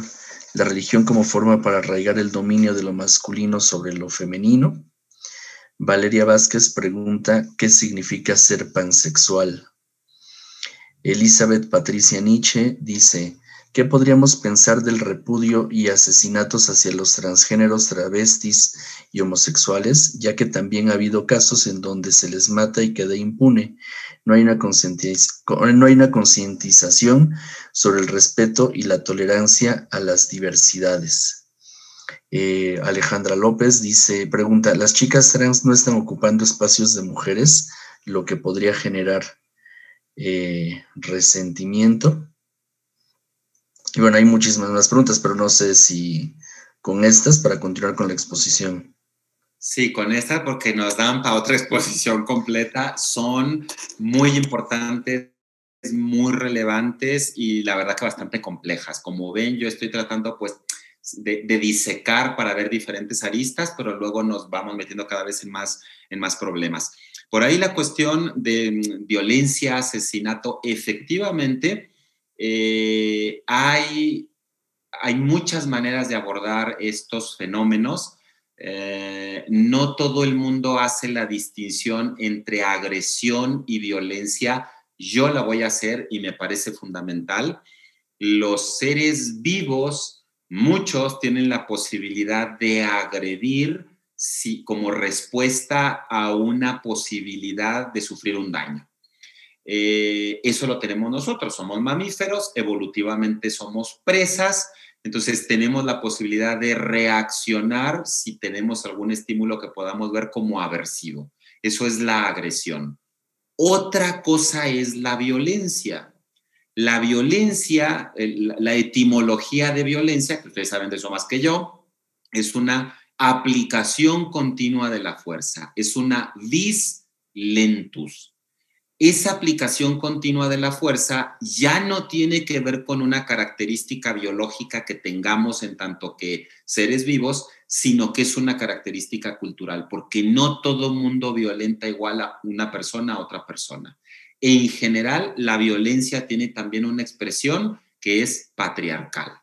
No se suele ver así, pero cuando se ejerce violencia contra adultos mayores, independientemente de sexo, género, identidad, orientación y todo esto que hemos mencionado, es precisamente por esta situación de menor fuerza, de menor poder, en donde los, en general, comunidad adulta, les feminiza en ese sentido y por eso ejerce violencia.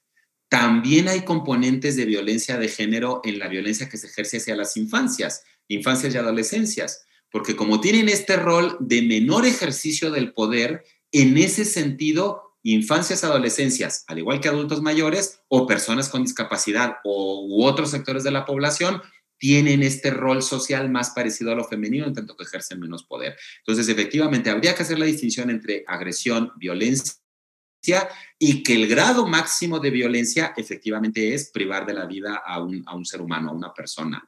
Mm, lamentablemente hay cuestiones que tienen que ver, yo he estado esto viéndolo por poniendo ejemplos demasiado concretos en ciertos cuerpos con ciertas personas, pero esto está estructuralmente de alguna manera afianzado, arraigado en la sociedad.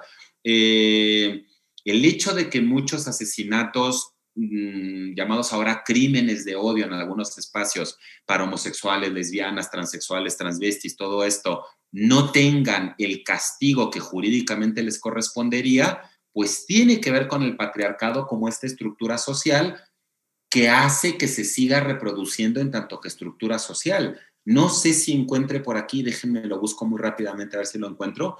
Hace, es que tengo por aquí mi teléfono y a veces guardo cosas. Mm, mm, mm, sí.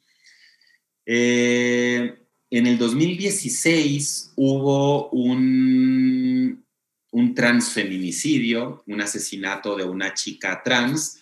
Yo no sé si lo saben, el feminicidio es un grave problema de salud pública, pero si lo vemos por tasa, es todavía mayor el transfeminicidio que el feminicidio.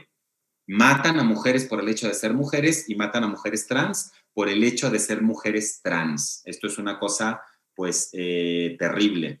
En el 2016 hubo un, asesinato de una chica trans. Eh, ella se dedicaba al, trabajo sexual, le tengo que denominar de alguna manera, me parece que no es un trabajo, pero ya luego lo podríamos analizar. Entonces se dedicaba al trabajo sexual, llega un, un hombre, le invita a subirse al coche, mm, tienen por ahí una, un intercambio de palabras, supuestamente pues le dice cuánto es lo que le va a cobrar por su servicio, se ponen de acuerdo, una vez que sube al coche parece que hay ahí un forcejeo, sale del coche eh, la chica trans, mm, parece que al final no hubo tal acuerdo, del coche sale un hombre con una pistola en donde todas las demás chicas que están ahí lo ven, persigue a la chica, le da de tiros, la mata a ojos de, todo, de todas las chicas trans las chicas le detienen físicamente, le hablan a la patrulla, llega la patrulla, se lo llevan y el juez lo deja libre por falta de pruebas. Eso es el patriarcado dentro del sistema judicial. Y podríamos hablar de otros sistemas donde está colado eh, el patriarcado, en donde solamente lo masculino es lo que prima. Y, y en aquel momento hubo una manifestación, se fueron a reforma con el ataúd de la chica trans para exigir justicia. Ni caso les hicieron, estamos hablando de 2016, ojalá que les hagan caso en algún momento. Y hay una frase que dijo Adriana Barrios Ruiz, apunté el nombre y apunté la frase porque me parece demoledora. La frase es, cito, para pagar el funeral cooperaron chicas de diferentes zonas, de la Merced, Sullivan, Insurgentes, Puente de Alvarado y hasta Tlalpan. Ves pocas aquí, pero son muchas las que apoyaron con algo. Pueden ser putas, pero no culeras. Cierro la frase. Me parece demoledor porque este último adjetivo que aplica esta chica a, las personas, se lo podríamos aplicar al sistema que no ha podido, no ha sido capaz de efectivamente impartir justicia ante estos crímenes de odio. No solamente de personas trans, sino de toda esta diversidad que estamos mencionando.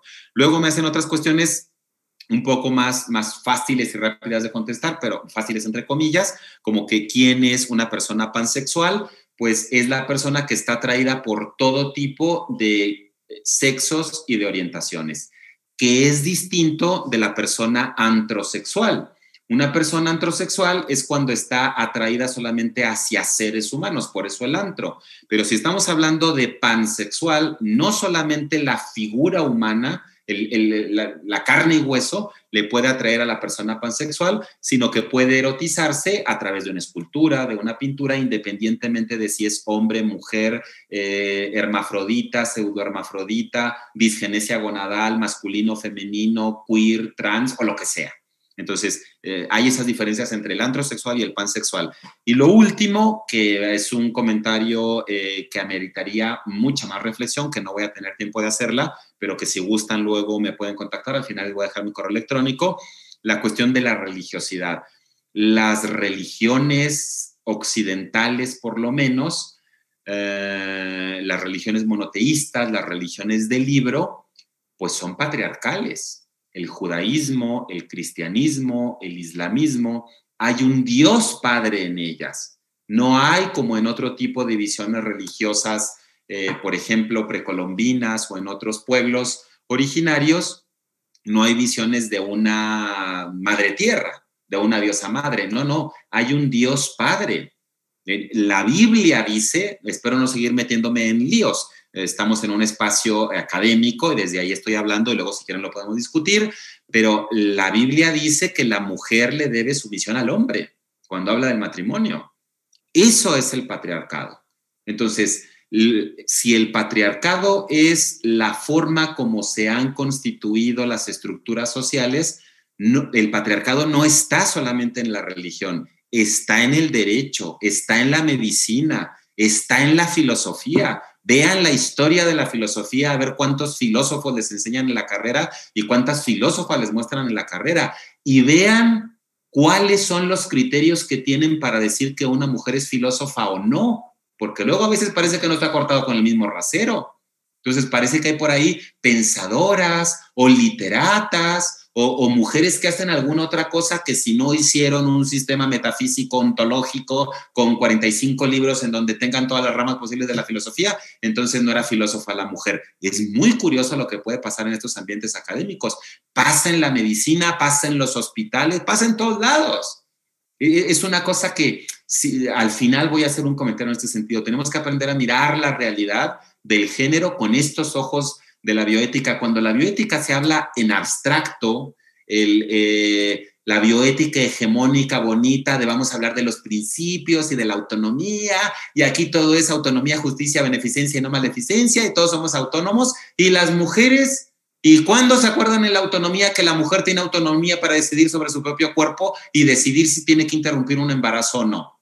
Ahí se les olvida la autonomía a muchos en bioética. No, no, no, no, no, no. Vamos a dejar de hablar de bioéticas edulcoradas y vamos a hablar un poquito más de estas realidades que nos atañen a todas las sociedades tan problemáticas como esto que les estoy mencionando. Y al final haré algún comentario también en, en este sentido. Como ven, si la cosa está muy complicada. Voy a avanzar un poquito más en la charla a ver hasta dónde, hasta dónde llegamos con el, con el vuelito. Seguiría la diversidad de prácticas, es decir, independientemente de si soy hombre, mujer, intersexual, si me identifico como masculino, femenino, eh, gender queer, a género o lo que sea, la forma como expresamos las prácticas son distintas. Se habla, se ha hablado, sobre todo a partir de la, pandemia de virus de inmunodeficiencia humana, del SIDA de los 80, que afortunadamente ya muy poca gente evoluciona a SIDA. Generalmente es porque no conocen su diagnóstico y no tienen tratamiento. Los tratamientos son fantásticos ahora. Se, hay una diferenciación a partir de estas décadas recientes sobre el sexo más seguro no hay ningún tipo de práctica sexual que tengamos con otra persona que sea segura 100%. No la hay. Lo siento si rompo algunos ideales y estereotipos de amor romántico, pero si son personas casadas con una relación supuestamente estable, eso tampoco es sexo seguro. Nadie puede estar las 24 horas vigilando a otra persona. Además, no sería sano, psicosocialmente hablando, que hiciera esto como para asegurarse que no hay ningún tipo de riesgo de que tengan una relación coital, por eso la referencia al condón en la imagen, con esa persona. Entonces, sí se habla dentro de las prácticas seguras, sí hay prácticas seguras, pero no con otra persona. Las únicas prácticas seguras son las que tenemos con nosotros mismos, con nosotras mismas. Si yo quiero tener una práctica totalmente segura, en el sentido donde apareció esto de lo seguro, que fue precisamente con las infecciones de transmisión sexual, si yo quiero tener una práctica segura, ¿qué es lo que tengo que hacer? Pues masturbarme.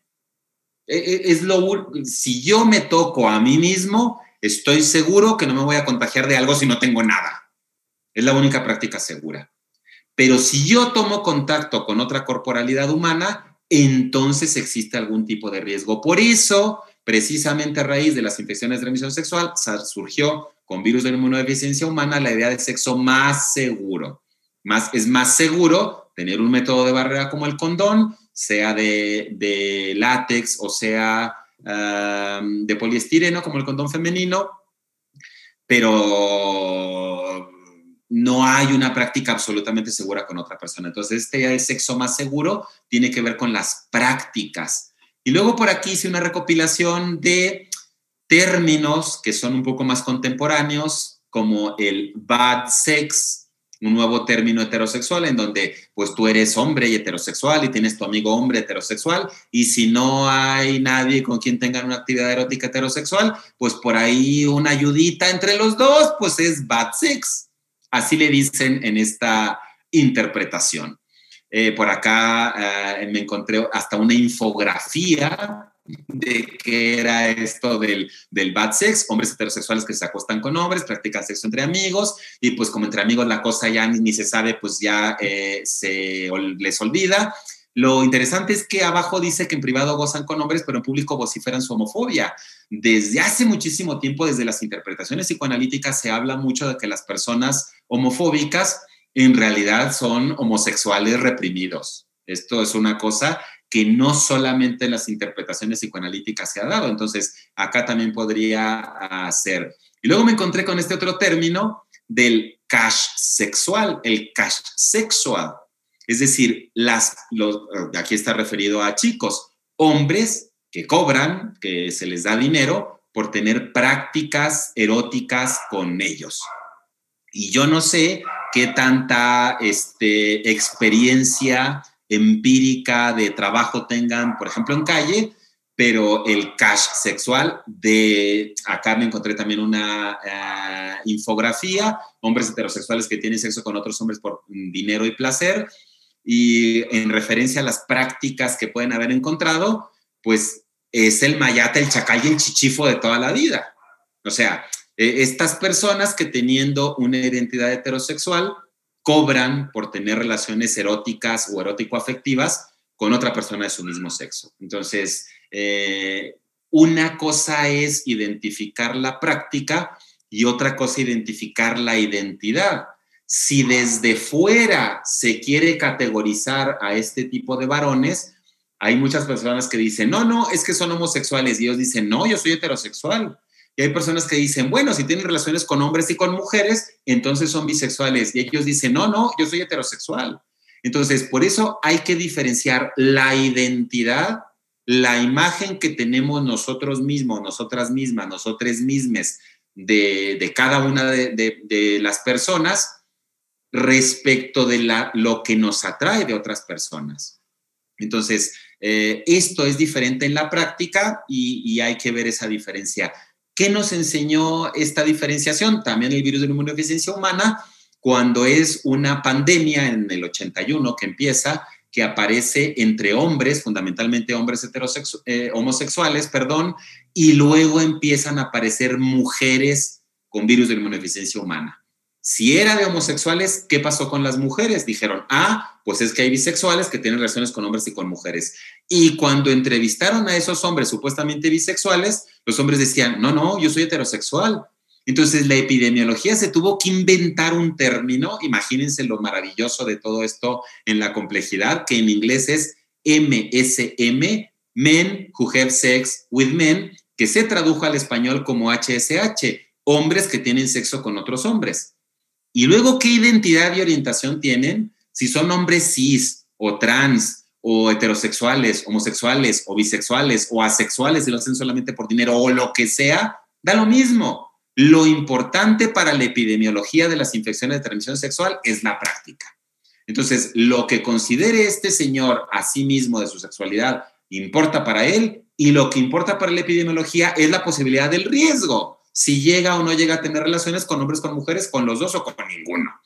Esta película, no sé si la recordarán, el Brokeback Mountain, yo recuerdo cuando fui al cine a verla, vamos, había gente que gritaba, que decía que asco, que se salía de la película. Hombre, si sabes que vas a ver a dos señores que se van a dar un arrimón y poco más, pues ¿para qué te metes al cine? Hay que ser un poquito congruentes con las actividades que tenemos en la vida cotidiana. A modo de resumen, y me quedan todavía un punto 7 y un punto 8, eh, traté yo de disecar estas cuestiones de la sexualidad para relacionarla con el género entre sexo y diversidad sexual, hablando de hembra, estados intersexuales y macho, luego la categorización que hace la cultura de hombre-mujer y estos estados de hermafroditismo eh, y pseudohermafroditismos, del género y de la diversidad de género para hablar de feminidades. Hay una feminidad hegemónica que presenté en una imagen, pero hay diferentes feminidades, hay una masculinidad hegemónica y diferentes masculinidades, hay orientaciones sexogenéricas y diversidad en esas orientaciones, hetero, homo, bi, a, pan, antrosexual, etcétera. Identidad sexogenérica, diversidad de identidades y expresiones en lo cis y en lo trans, y diversidad de prácticas. Entonces, como ven, es muy complicado tratar de abordar esto de modo orgánico, de modo unánime. Podemos ver entonces cuando hay este tipo de expresiones culturales respecto de ciertos grupos, que aquí tiene que ver también una cuestión de conquista política, de decir, aquí estamos, respétenos, eh, tenemos derechos igual que el resto de las personas, eh, que vemos mucho con las banderitas.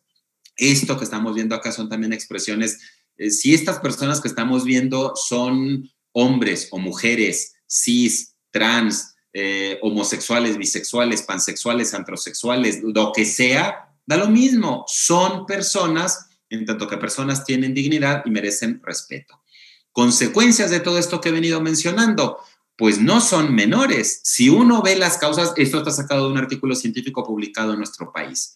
Si uno ve las causas de egreso hospitalario de nuestros adolescentes, 14 a, 19 eh, años más o menos, la principal causa de egreso hospitalario de las mujeres es las relacionadas con embarazo, parto y puerperio. Claro, si les están llevando la comidita y el jueguito de té y la muñequita y los pañalitos, les están enseñando a que lo que tienen que hacer es solamente criar. Y, estas son las consecuencias. Y a los hombres les regalan la pelota, el bat de béisbol, el carrito, eh, las luchas, los luchadores. ¿Cuál es la principal causa de egreso hospitalario de los hombres? Traumatismos, envenenamientos y algunas otras consecuencias de causa externa, en general relacionadas con violencia por la promoción de la violencia en la construcción genérica que tenemos los hombres. La tasa bruta de mortalidad por suicidio en los países de, la región de las Américas, aquí la estamos viendo, en tanto que tasa bruta, y cuando vemos la tasa bruta de mortalidad por suicidio por sexo, claro, los hombres se suicidan mucho más que las mujeres. Esto es también un problema de género. Sí dicen que los hombres no deben llorar y no podemos expresar sentimientos. Eh, claro, no sufras, mátate, pero no sufras. No lo expreses al menos. Entonces, esto es un problema también en la salud pública, al menos desde esta eh, mirada. Y dentro del grupo de adolescentes y jóvenes, entre 15 y 24 años, pues es una cosa también muy parecida. Eh, como evidentemente no da tiempo de hablar de todo, el último número de la Gaceta de la Conbioética tiene como título del, volumen Bioética, Salud, Diversidad y tiene algunos textos por ahí. El primer texto que viene ahí marcado, que es el primer texto de la Gaceta, se llama Educación y Diversidad Sexual. Lo escribo yo, si quieren también por ahí consultar como el primero que presenté en, la charla. Ya después voy a dejar los correos electrónicos para alguna cosa más específica. Pero bueno, esto tiene una mirada también de divulgación para ver que la bioética, como solemos decirlo, el término aparece con JAR en 1927 como campo disciplinar. Yo sigo diciendo que aparece en la década de los 70 prácticamente no hubo ningún tipo de repercusión del trabajo de JAR ni en los 20, ni en los 30, ni en los 40, en ningún momento hasta que lo redescubre en el 2007 Hans Martin Sass. Entonces, cuando el 2007 Hans Martin Sass dijo, oh, me encontré a un señor que en 1927 habla de la bioética, entonces se reivindica mucho el trabajo de, de Yar. Pero la verdad es que en aquel momento no hubo tanta repercusión. Me parece a mí, mi interpretación muy personal, que no había condiciones. Entonces, independientemente de que consideremos el origen de la biótica, yo digo que la biótica nace como palabra en el 27, como campo disciplinar en la década de los 70. De los 70 para acá, no se ha hablado mucho ni de sexualidad ni de género dentro de la bioética. Es algo de lo que digo por ahí en este texto. ¿Qué otras repercusiones tiene todo esto que estoy hablando? Pues este señor fue un francés eh, que empieza a hablar de la dosimología, de la evaluación que se hace a las personas eh, que asisten a procesos educativos, a escolares. Y, y este otro autor Daniel Gil Pérez habla de estudios empíricos con las evaluaciones y aquí reúne algunos de sus trabajos en la enseñanza de las ciencias y de la matemática. Resulta que las investigaciones empíricas nos dicen que las y los profesores no evalúan igual en matemáticas que parecen tan objetivas a los hombres que a las mujeres. A los hombres les dan posibilidad de que se equivoquen más y les pongan bien la operación que tuvieron que haber realizado y a las mujeres no. A las mujeres se les penaliza más cualquier tipo de error en matemáticas. Entonces, a lo mejor saben lo mismo y esa idea que se tiene socialmente construida de que los hombres son mejores para las matemáticas puede tener que ver con sesgos de género de quien evalúa y no de las personas que son evaluadas. Entonces, como supongo que algunas personas que nos están escuchando en este momento se dedican a la educación, como el que les habla, pues hay estos libros, eh, Gender and Teaching, Gender Lessons, en donde podemos ver qué es lo que tenemos que identificar quienes nos dedicamos al campo de la educación en nuestro propio comportamiento genérico para ver qué imagen estamos dando a nuestro alumnado y además de qué manera lo estamos evaluando. No, no es para nada un tema menor. Me parece que es una de las muchas cosas importantes que tendríamos que eh, analizar. Eh, ya me voy aproximando al final y esto lo había dicho yo con otras palabras eh, antes, el patriarcado, que lo masculino subyugue, domine a lo femenino, nos jode a todas, todos y todes. Cuando yo he dicho en algún momento, pues voy a usar una segunda palabra altisonante en lo que va de la charla, en algún momento puse esto en mi Facebook, y pues dije yo por ahí que tanto las mujeres, hombres y cualquier persona tendría que luchar en contra del patriarcado porque afectaba a las mujeres mucho más que a los hombres, pero que también los hombres teníamos afectaciones derivadas del patriarcado. El primer comentario que recibí de una persona que ni conozco, porque en mi Facebook pongo algunas publicaciones eh, pues públicas para que las vean quienes les interese, el primer comentario fue, patriarcado tu culo. Pero yo qué culpa tengo de los problemas de salud mental de la población, por Dios. Entonces, e, ese tipo de comentario tiene que ver con lo que dice este cartel. De alguna manera, pues esta persona se sintió ofendida por, por esta idea. ¿Hacia dónde deberíamos de ir? Y ya son los últimos comentarios para los últimos minutos y pues interactuar un poquito otra vez con eh, quienes nos escuchan. Pues esta autora, eh, Lindman, se hace una pregunta muy interesante en este artículo de la American Journal of Bioethics. ¿Tiene género la bioética? Me parece, vamos, no solamente epistemológicamente un reto, sino hasta poética el planteamiento. ¿Podríamos imaginarnos que la bioética tiene género? Ella dice mm, textualmente, debido a que la relación de poder gobernada por el género es abusiva, existen varios inconvenientes de pertenecer al género femenino. Yo he tratado de decirlo de una manera bastante menos poética y literaria, pero es lo que he tratado de defender a lo largo de la charla. Y luego ella da las siguientes cuatro razones de por qué es inconveniente pertenecer al género femenino y pone ejemplos de por qué, según su consideración teórica, la bioética tiene un género femenino. Primera consideración, la expectativa de servicio. Entonces, se espera que las mujeres sirvan en una sociedad patriarcal y en la sociedad del conocimiento, en las disciplinas, se espera que la bioética sirva. Este ejemplo no lo pone ella, pero a mí me parece muy, eh, muy fácil para ejemplificar. Cuando hablamos de comités de bioética, pues los comités de ética en investigación caen dentro de esto ¿Y qué esperan los investigadores de los comités de ética en investigación? Esperan que les hagamos, yo participo en varios, de hecho, participo en uno junto con el doctor Alonso Salas. Esperan los investigadores que les hagamos recomendaciones para que eleven eh, la calidad de sus investigaciones, el respeto a los derechos humanos y la dignidad de los sujetos de investigación. No, esperan que les sirvamos dándoles una carta para que puedan publicar. Y eso es lo que esperan en general. No entienden todavía la función de los comités ni de la bioética. Entonces, la expectativa de servicio que tiene el género femenino, creo que ahí la podemos ejemplificar eh, dentro de lo que se espera de la bioética. Falta de una posición moral plena. Esto le pasa a las mujeres en el sistema patriarcal, eh, a lo femenino dentro del patriarcado y le pasa también a la bioética.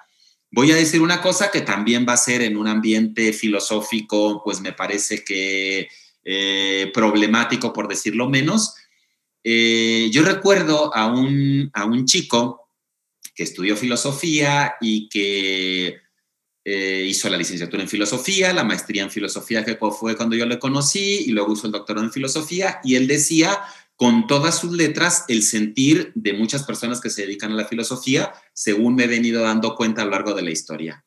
Para que seas filósofo, filósofo, tienes que hacer metafísica y ontología. Si te dedicas a otra cosa, pues como que ya no eres tan filo, como que vales menos. Como que si quieres dedicarte a algo flojo, algo como que las mujeres se dedican a ello, pues agarra estética, agarra ética. Entonces, esta posición inferior de la ética en general y de la bioética en particular es no tener esta posición moral plena, que he escuchado yo con todas sus letras de este personaje y de otros más, y que en el mundo específicamente de la bioética sigue pasando. Ahora me voy a tomar yo una experiencia personal. Yo me formé originalmente, como escucharon por ahí en el currículum que tan amablemente hizo, me hizo a favor de presentar el doctor Alonso Salas, me formé en medicina. Entonces, claro, si yo hablo con algún amigo que sea médico clínico de consultorio y le digo que me dedico a la bioética, me dicen, no, tú no haces nada. ¿Qué es eso de la bioética? ¿A qué te puedes dedicar? Entonces soy como menos dentro del mundo de la medicina. Y como yo estudié medicina, si hablo con un filósofo, el filósofo que me dice lo mismo, pero tú si eres médico, ¿cómo vas a hacer bioética? ¿Qué vas a saber de bioética? Entonces, eh, esta falta de posición moral plena se puede implicar de diferentes maneras. La falta de autoridad cognitiva plena, porque se supone que como se hacen recomendaciones prudentes en el mundo de la ética, pues eso le, es como flojo, también podría verse esta generización de la bioética. Y lo último es la falta de voz. Y para acabar de meterme en problemas hasta el pescuezo, pues eh, hay que ver el ejemplo de nuestro gobierno en la 4T. Resulta que en marzo del año pasado, empezando la pandemia, renuncia el comisionado nacional de bioética y al día de hoy no tenemos comisionado nacional de bioética. ¿Qué pasa que el secretario de salud no hace lo que tiene que hacer, que es nombrar al comisionado nacional de bioética? No hay voz. ¿Quién ha tomado la voz de la bioética? El gobierno. Entonces, cuando nos dicen en las conferencias despertinas y cuando dicen que los protocolos de investigación están revisados por comités de ética y por sus grupos técnicos asesores, ¿asesores de qué? ¿Asesores de quién? ¿Asesores para qué? ¿Dónde quedó la voz de la bioética como el grupo de personas capacitadas y especializadas en estos temas? El grupo, la bioética en abstracto, no una o dos personas que están allegadas al poder y que son las que maman de él y se dedican a decidir por los demás. Entonces, esta falta de voz me parece que podríamos verla tanto en el género femenino con esta extensión que hace esta autora. Y por último, yo diría que la bioética debería ser dos cosas, una especie de espejo que nos ayude para poder reflejarnos las cuestiones genéricas que he venido yo tratando de analizar y al mismo tiempo una ventana, algo que en el momento que nos asomemos al mundo, pues nos permita verlo de otra manera mm, en las cuestiones genéricas y demás. Siempre termino de la misma manera, me van a quedar muy pocos minutos, pero espero que los podamos aprovechar si es que hay algún otro comentario, pues dedicando el trabajo que hago, agradeciendo desde luego a la institución, en este caso a la UNAM, al PUB y al doctor Alonso Salas, eh, agradeciendo a la institución de trabajo. Estas son unas jacarandas de Guam Xochimilco, que espero que no se nos hayan secado en la pandemia, porque pues como no vamos ahorita para allá, pues espero que nuestros compañeros este, trabajadores manuales las hayan conservado. Siempre termino dedicando todo lo que hago al amor de mi vida, a mi hija, que me conoce con todas estas cuestiones que les he ido mencionando y yo espero que genéricamente se le respete como persona independientemente de cómo se vea, se viva ahora y en el futuro. Y para quien por ahí preguntaba por el correo electrónico, siempre termina de la misma manera, agradeciendo desde luego su amable atención a lo largo de este par de horas dejando nuevamente por ahí tras bambalinas a la UAM Xochimilco, es la tira de la peregrinación en el segmento de las siete tribuna, siete tribuna Huatlacas, pues esta es la que representa a los Xochimilcas. Y como yo trabajo en Juan Xochimilco, pues por acá lo pongo también de modo emblemático. Mis correos electrónicos son estos dos, uno comercial, el de Hotmail que traigo en el teléfono, y el institucional de la UAM. Siempre les pido, por favor, si me quieren contactar, pues que lo hagan a los dos correos y si no me llega uno, me llega otro. Por aquello de la bandeja de no deseados, a veces se me juntan mucho y no tengo tiempo de, mm, si tengo pues de pronto 100 correos, la verdad que no los reviso en la bandeja de no deseados, la vacío y ya.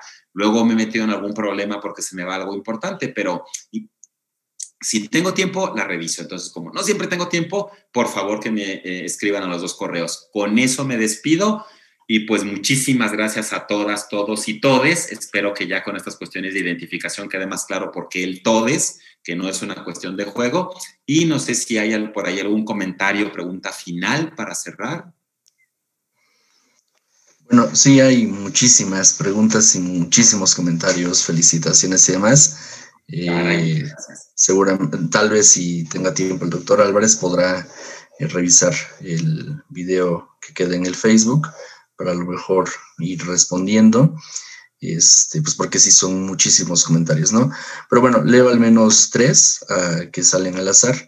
Eh, Mario Mendoza pregunta, ¿qué opina de que la reasignación sexual como método curativo del trastorno de disfora de género no forme parte de la atención integral del seguro social o incluso de un seguro de gastos médicos mayores. Eh, Javier Briceño pregunta si se debería excluir el sexo de las fichas de identidad. Em, y alguna otra. Em,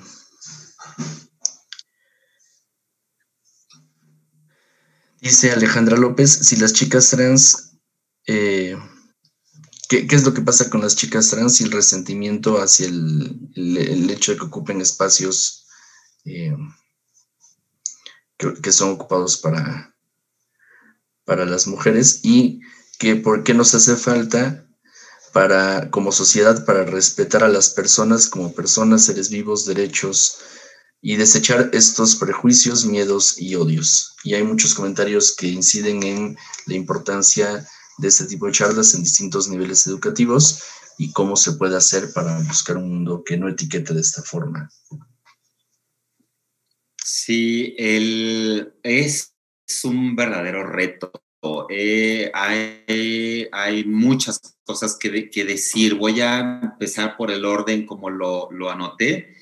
Eh, primero, como los seres humanos somos seres culturales, lo mencionaba ya al principio de la charla, y la cultura la, la incorporamos vía lenguaje, con palabras y con los significados que asociamos a estas palabras, e, este término que utilizaron por ahí de la reasignación curativa para el trastorno de disforia de género, vamos, no convulsioné aquí porque no me da el cerebro para convulsionar, pero casi. Eh, son términos que no son los más adecuados porque el trastorno por disforia de género es como se ve en una cierta mirada psiquiatrizante de esto. Ah, hoy muchas voces lo que buscan es despatologizar la transexualidad. Así como en algún momento afortunadamente se consiguió que se eliminara totalmente del DCM y de la CIE, los sistemas de clasificación de enfermedades mentales, tanto de la Asociación Psiquiátrica Americana como de la Organización Mundial de la Salud, que saliera la homosexualidad, así se busca hoy y espero que algún día salga la transexualidad. Entonces, dentro del mundo sexológico no se habla tanto de la disforia de género, ni se supone que sea algo curativo una reasignación. De hecho, tampoco se habla en el mundo sexológico de reasignación, porque quiere decir que asignamos algo como sociedad a un cuerpo en un determinado momento de su historia personal y luego en otro momento lo asignamos con otra cirugía. Y no, no se trata de asignar, se trata, en vocabulario más sexológico, de adecuar la identidad sexogenérica que tengan estas personas con su corporalidad quienes quieran adecuar algo. Vimos una foto de una persona que dijo, no, no, no, este es mi cuerpo, a mí no me metan mano. No se necesita curar nada, ni se necesita operar nada. Habrá algunas personas que prefieran tomar hormonas o no, habrá algunas personas que prefieran vestirse de una manera o no, habrá algunas personas que quieran operarse de algo o no. Pero independientemente de qué sea lo que quieran hacer en su cuerpo, se habla de adecuación y más que de una cuestión curativa, no, no, sea, no, no mencionamos, yo no mencioné nunca a lo largo de mi charla el término curativo porque no se trata de curar nada, no es algo que esté enfermo y que querramos curar. Deberíamos de ver cualquier tipo de modificación corporal deseada por alguna persona para poder tener una mejor concordancia entre su identidad y su corporalidad, deberíamos de verlo como las vacunas, como una promoción de la salud eh, es decir, mantener su estado de bienestar lo más posible haciendo las adecuaciones que la tecnociencia contemporánea nos permite. Haría ese comentario. Ahora, así como las vacunas son programas universales gratuitos a nivel federal, pues me parece también que la atención sexual y todo lo que derive de ella debería ser también considerado a nivel federal dentro de todo lo que es el sistema de salud, no solamente en el IMSS. Si vamos al ISTE o si tenemos INSABI, que si tenemos algún tipo de necesidad de acuerdo a nuestra sexualidad, se satisfaga. No me va a dar tiempo de desarrollarlo, pero por ahí sí pueden buscar eh, los objetivos de desarrollo sostenible, la cuestión que tiene que ver por ahí con salud, un documento de Lancet sobre derechos sexuales y derechos reproductivos, para poder especificar que hay algunos derechos sexuales que no son reproductivos, como podrían ser los de las personas trans, todo esto tendríamos que potenciarlos. Ahora, mencioné todos los derechos para saltarme a esta cuestión final del respeto y todo lo demás. Yo no creo que la única vía sea decir que hay derechos, porque de derechos estamos hasta la coronilla, yo por lo menos. Me parece que lo que tenemos que hacer es cambios de paradigma cultural a través de, yo me dedico a la educación, entonces tengo que echarle porras a la educación eh, porque si no sería un poco incongruente más de lo que podemos ser los seres humanos. Entonces, si yo digo tal cosa tiene derechos o hay derecho a tal cosa, pues se queda en una declaración. Lo que tendríamos que modificar es qué es lo que aprendemos individual y colectivamente a respetar. ¿Por qué resulta que una cierta idea de masculinidad es respetable y otra idea de masculinidad no es respetable? Y eso es lo que nos tenemos que empezar a cuestionar. ¿Por qué queremos que si tenemos un niño que juegue con carritos, pistolas y que se vaya al ejército, y si tenemos una niña que se quede en la casa a cuidar y que aprenda a, a amamantar tempranamente? No, eso es lo que creo que tendría que ser el paradigma cultural. Efectivamente, enseñar una cultura de respeto, porque si todos los seres humanos respetáramos a todos los seres humanos y a todas las formas de vida y al medio ambiente, no necesitaríamos tantos derechos por ahí para exigir. Me parece que la cuestión tendría que ser al revés. La promoción del respeto y no la exigencia de los derechos. Porque luego viene otro tipo de problemas. En el mundo de la medicina, que esas cosas que yo pues por ahí me aproximo por la deformación original profesional, pues los pacientes tienen derechos y luego los médicos, ah, yo también tengo derecho, entonces tu derecho contra mi derecho y a ver cuál derecho vale más. Los conflictos de valores que se han planteado en la ética ahora han pasado a conflictos de derechos y sigue el conflicto. Lo que tendríamos que buscar es de alguna manera tratar de llegar a acuerdos por la vía del respeto y en el momento que nos respetemos y en el momento que lleguemos a acuerdos, yo creo que los derechos van a quedar no sobrando, desde luego que no, se necesitan, pero no en ese papel cuasi hegemónico que les hemos dado del 48 para acá. La gente ha creído que todos son derechos. Em, luego tengo por aquí anotado esta cuestión que no comenté en, los comentarios pasados acerca de la ocupación de ciertos espacios por, por chicas trans. Yo he mencionado el apellido eh, con el nombre mujer, pues por poder ponernos de acuerdo, pero es que si una mujer es cis o es trans, no tendría que tener importancia para ocupar un determinado puesto o no. Entonces, no es que las mujeres trans ocupen puestos de mujeres cis, ni que las mujeres cis ocupen puestos de mujeres trans. Es que si es mujer y quiere ocupar un determinado puesto, independientemente de que sea cis o trans, debería de evaluársele por las capacidades que puede ejercer en ese puesto, no por ser cis o por ser trans. Volviendo al mundo del cine, hay eh, comentarios, supongo, o al mundo de las series. Hace poco salió La Casa de las Flores y sale por ahí un personaje que hace Paco León de una mujer trans. Y las redes sociales se desgarraban diciendo, pero ¿cómo un hombre hace el papel de una mujer trans? ¿Por qué no le hablan a una mujer trans? Y resulta que cuando Pedro Almodóvar, en Todo sobre mi madre, toma a una actriz que es trans para hacer el papel de una mujer cis, nadie dijo nada. Ahí todo el mundo se quedó calladito. No se trata, y menos en el mundo de la actuación, desde mi punto de vista, de que la mujer cis la haga de cis y la trans la haga de trans y el hombre la haga de hombre. No, no, en el mundo de la actuación, hombre, del toro no podría haber hecho la película del fauno. ¿Dónde vamos a sacar un fauno para meterlo en la película? Los actores y las actrices representan un otro personaje que puede ser de otro sexo, de otra identidad, de otra especie o de otro planeta. ¿Cómo habrían hecho la guerra de las galaxias? Entonces, me parece que no se trata de que haya espacios para mujeres cis y espacios para mujeres trans. Los espacios son para personas que reúnan las cualificaciones para ese punto y creo que poco más. Hace una pregunta muy interesante sobre si creo yo, y me parece que es la última de esta última serie de, comentarios, que debería de eliminarse o excluirse el sexo en los documentos de identidad. Yo creo que a pesar de que esto sea muy conflictivo, tiene que permanecer. Si, fuésemos otro tipo de sociedad ideal en donde las personas realmente pudieran ejercer su autonomía y escoger de qué manera quieren vivir sus cuerpos y, y si quieren transformarlos o no algo distinto de lo que la sociedad les impone, habría esta posibilidad de reconocer una determinada biología al nacimiento y luego una identidad que coincide o no con esa cualidad biológica. ¿Por qué me parece que es importante seguir manteniendo el sexo, no solamente el asignado, sino el de identidad? El de identidad, porque si yo veo a un señor con barba y bigote y me dice, yo me llamo Ana, yo le tengo que decir Ana. Mi obligación es respetarle y si quiere que le llame Ana, le voy a llamar Ana, o el nombre que genéricamente hayamos determinado como mujer. Pero Evidentemente, en un expediente clínico, el hecho de que su cuerpo se haya expuesto a testosterona le da la posibilidad de ciertos riesgos biomédicos que a otro ser humano no. Yo tengo amigas trans y tengo amigas trans que son mayores, de 50, de 60. ¿Qué hacen algunas de estas amigas trans? Pues llegan al laboratorio y piden su prueba de antígeno prostático para cuidar su salud.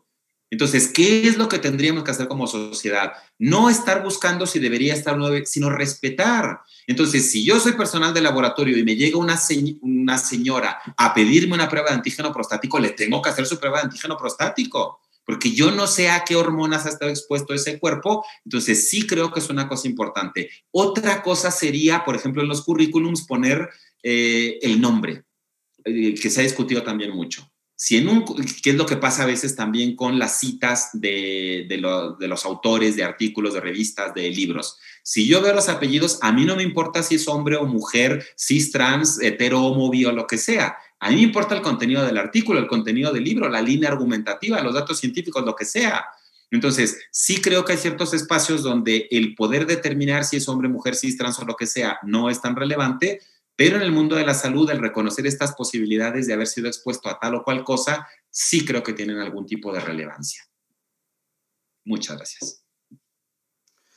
Bueno, pues muchísimas gracias al doctor Jorge Álvarez. En verdad hay muchísimos comentarios, preguntas de eh, su Facebook, que dónde da clase, etcétera. Este, y bueno, yo creo que con los correos se podrá resolver esta, esta situación. Y pues bueno, agradecer a cada una y uno de ustedes eh, su participación en esta eh, charla. Y los esperamos el próximo martes a la misma hora. Y a nombre del programa Universitario de Biótica, agradecemos al doctor Jorge Álvarez Díaz, eh, su valiosa participación. Muchas gracias y hasta luego. Muchas gracias.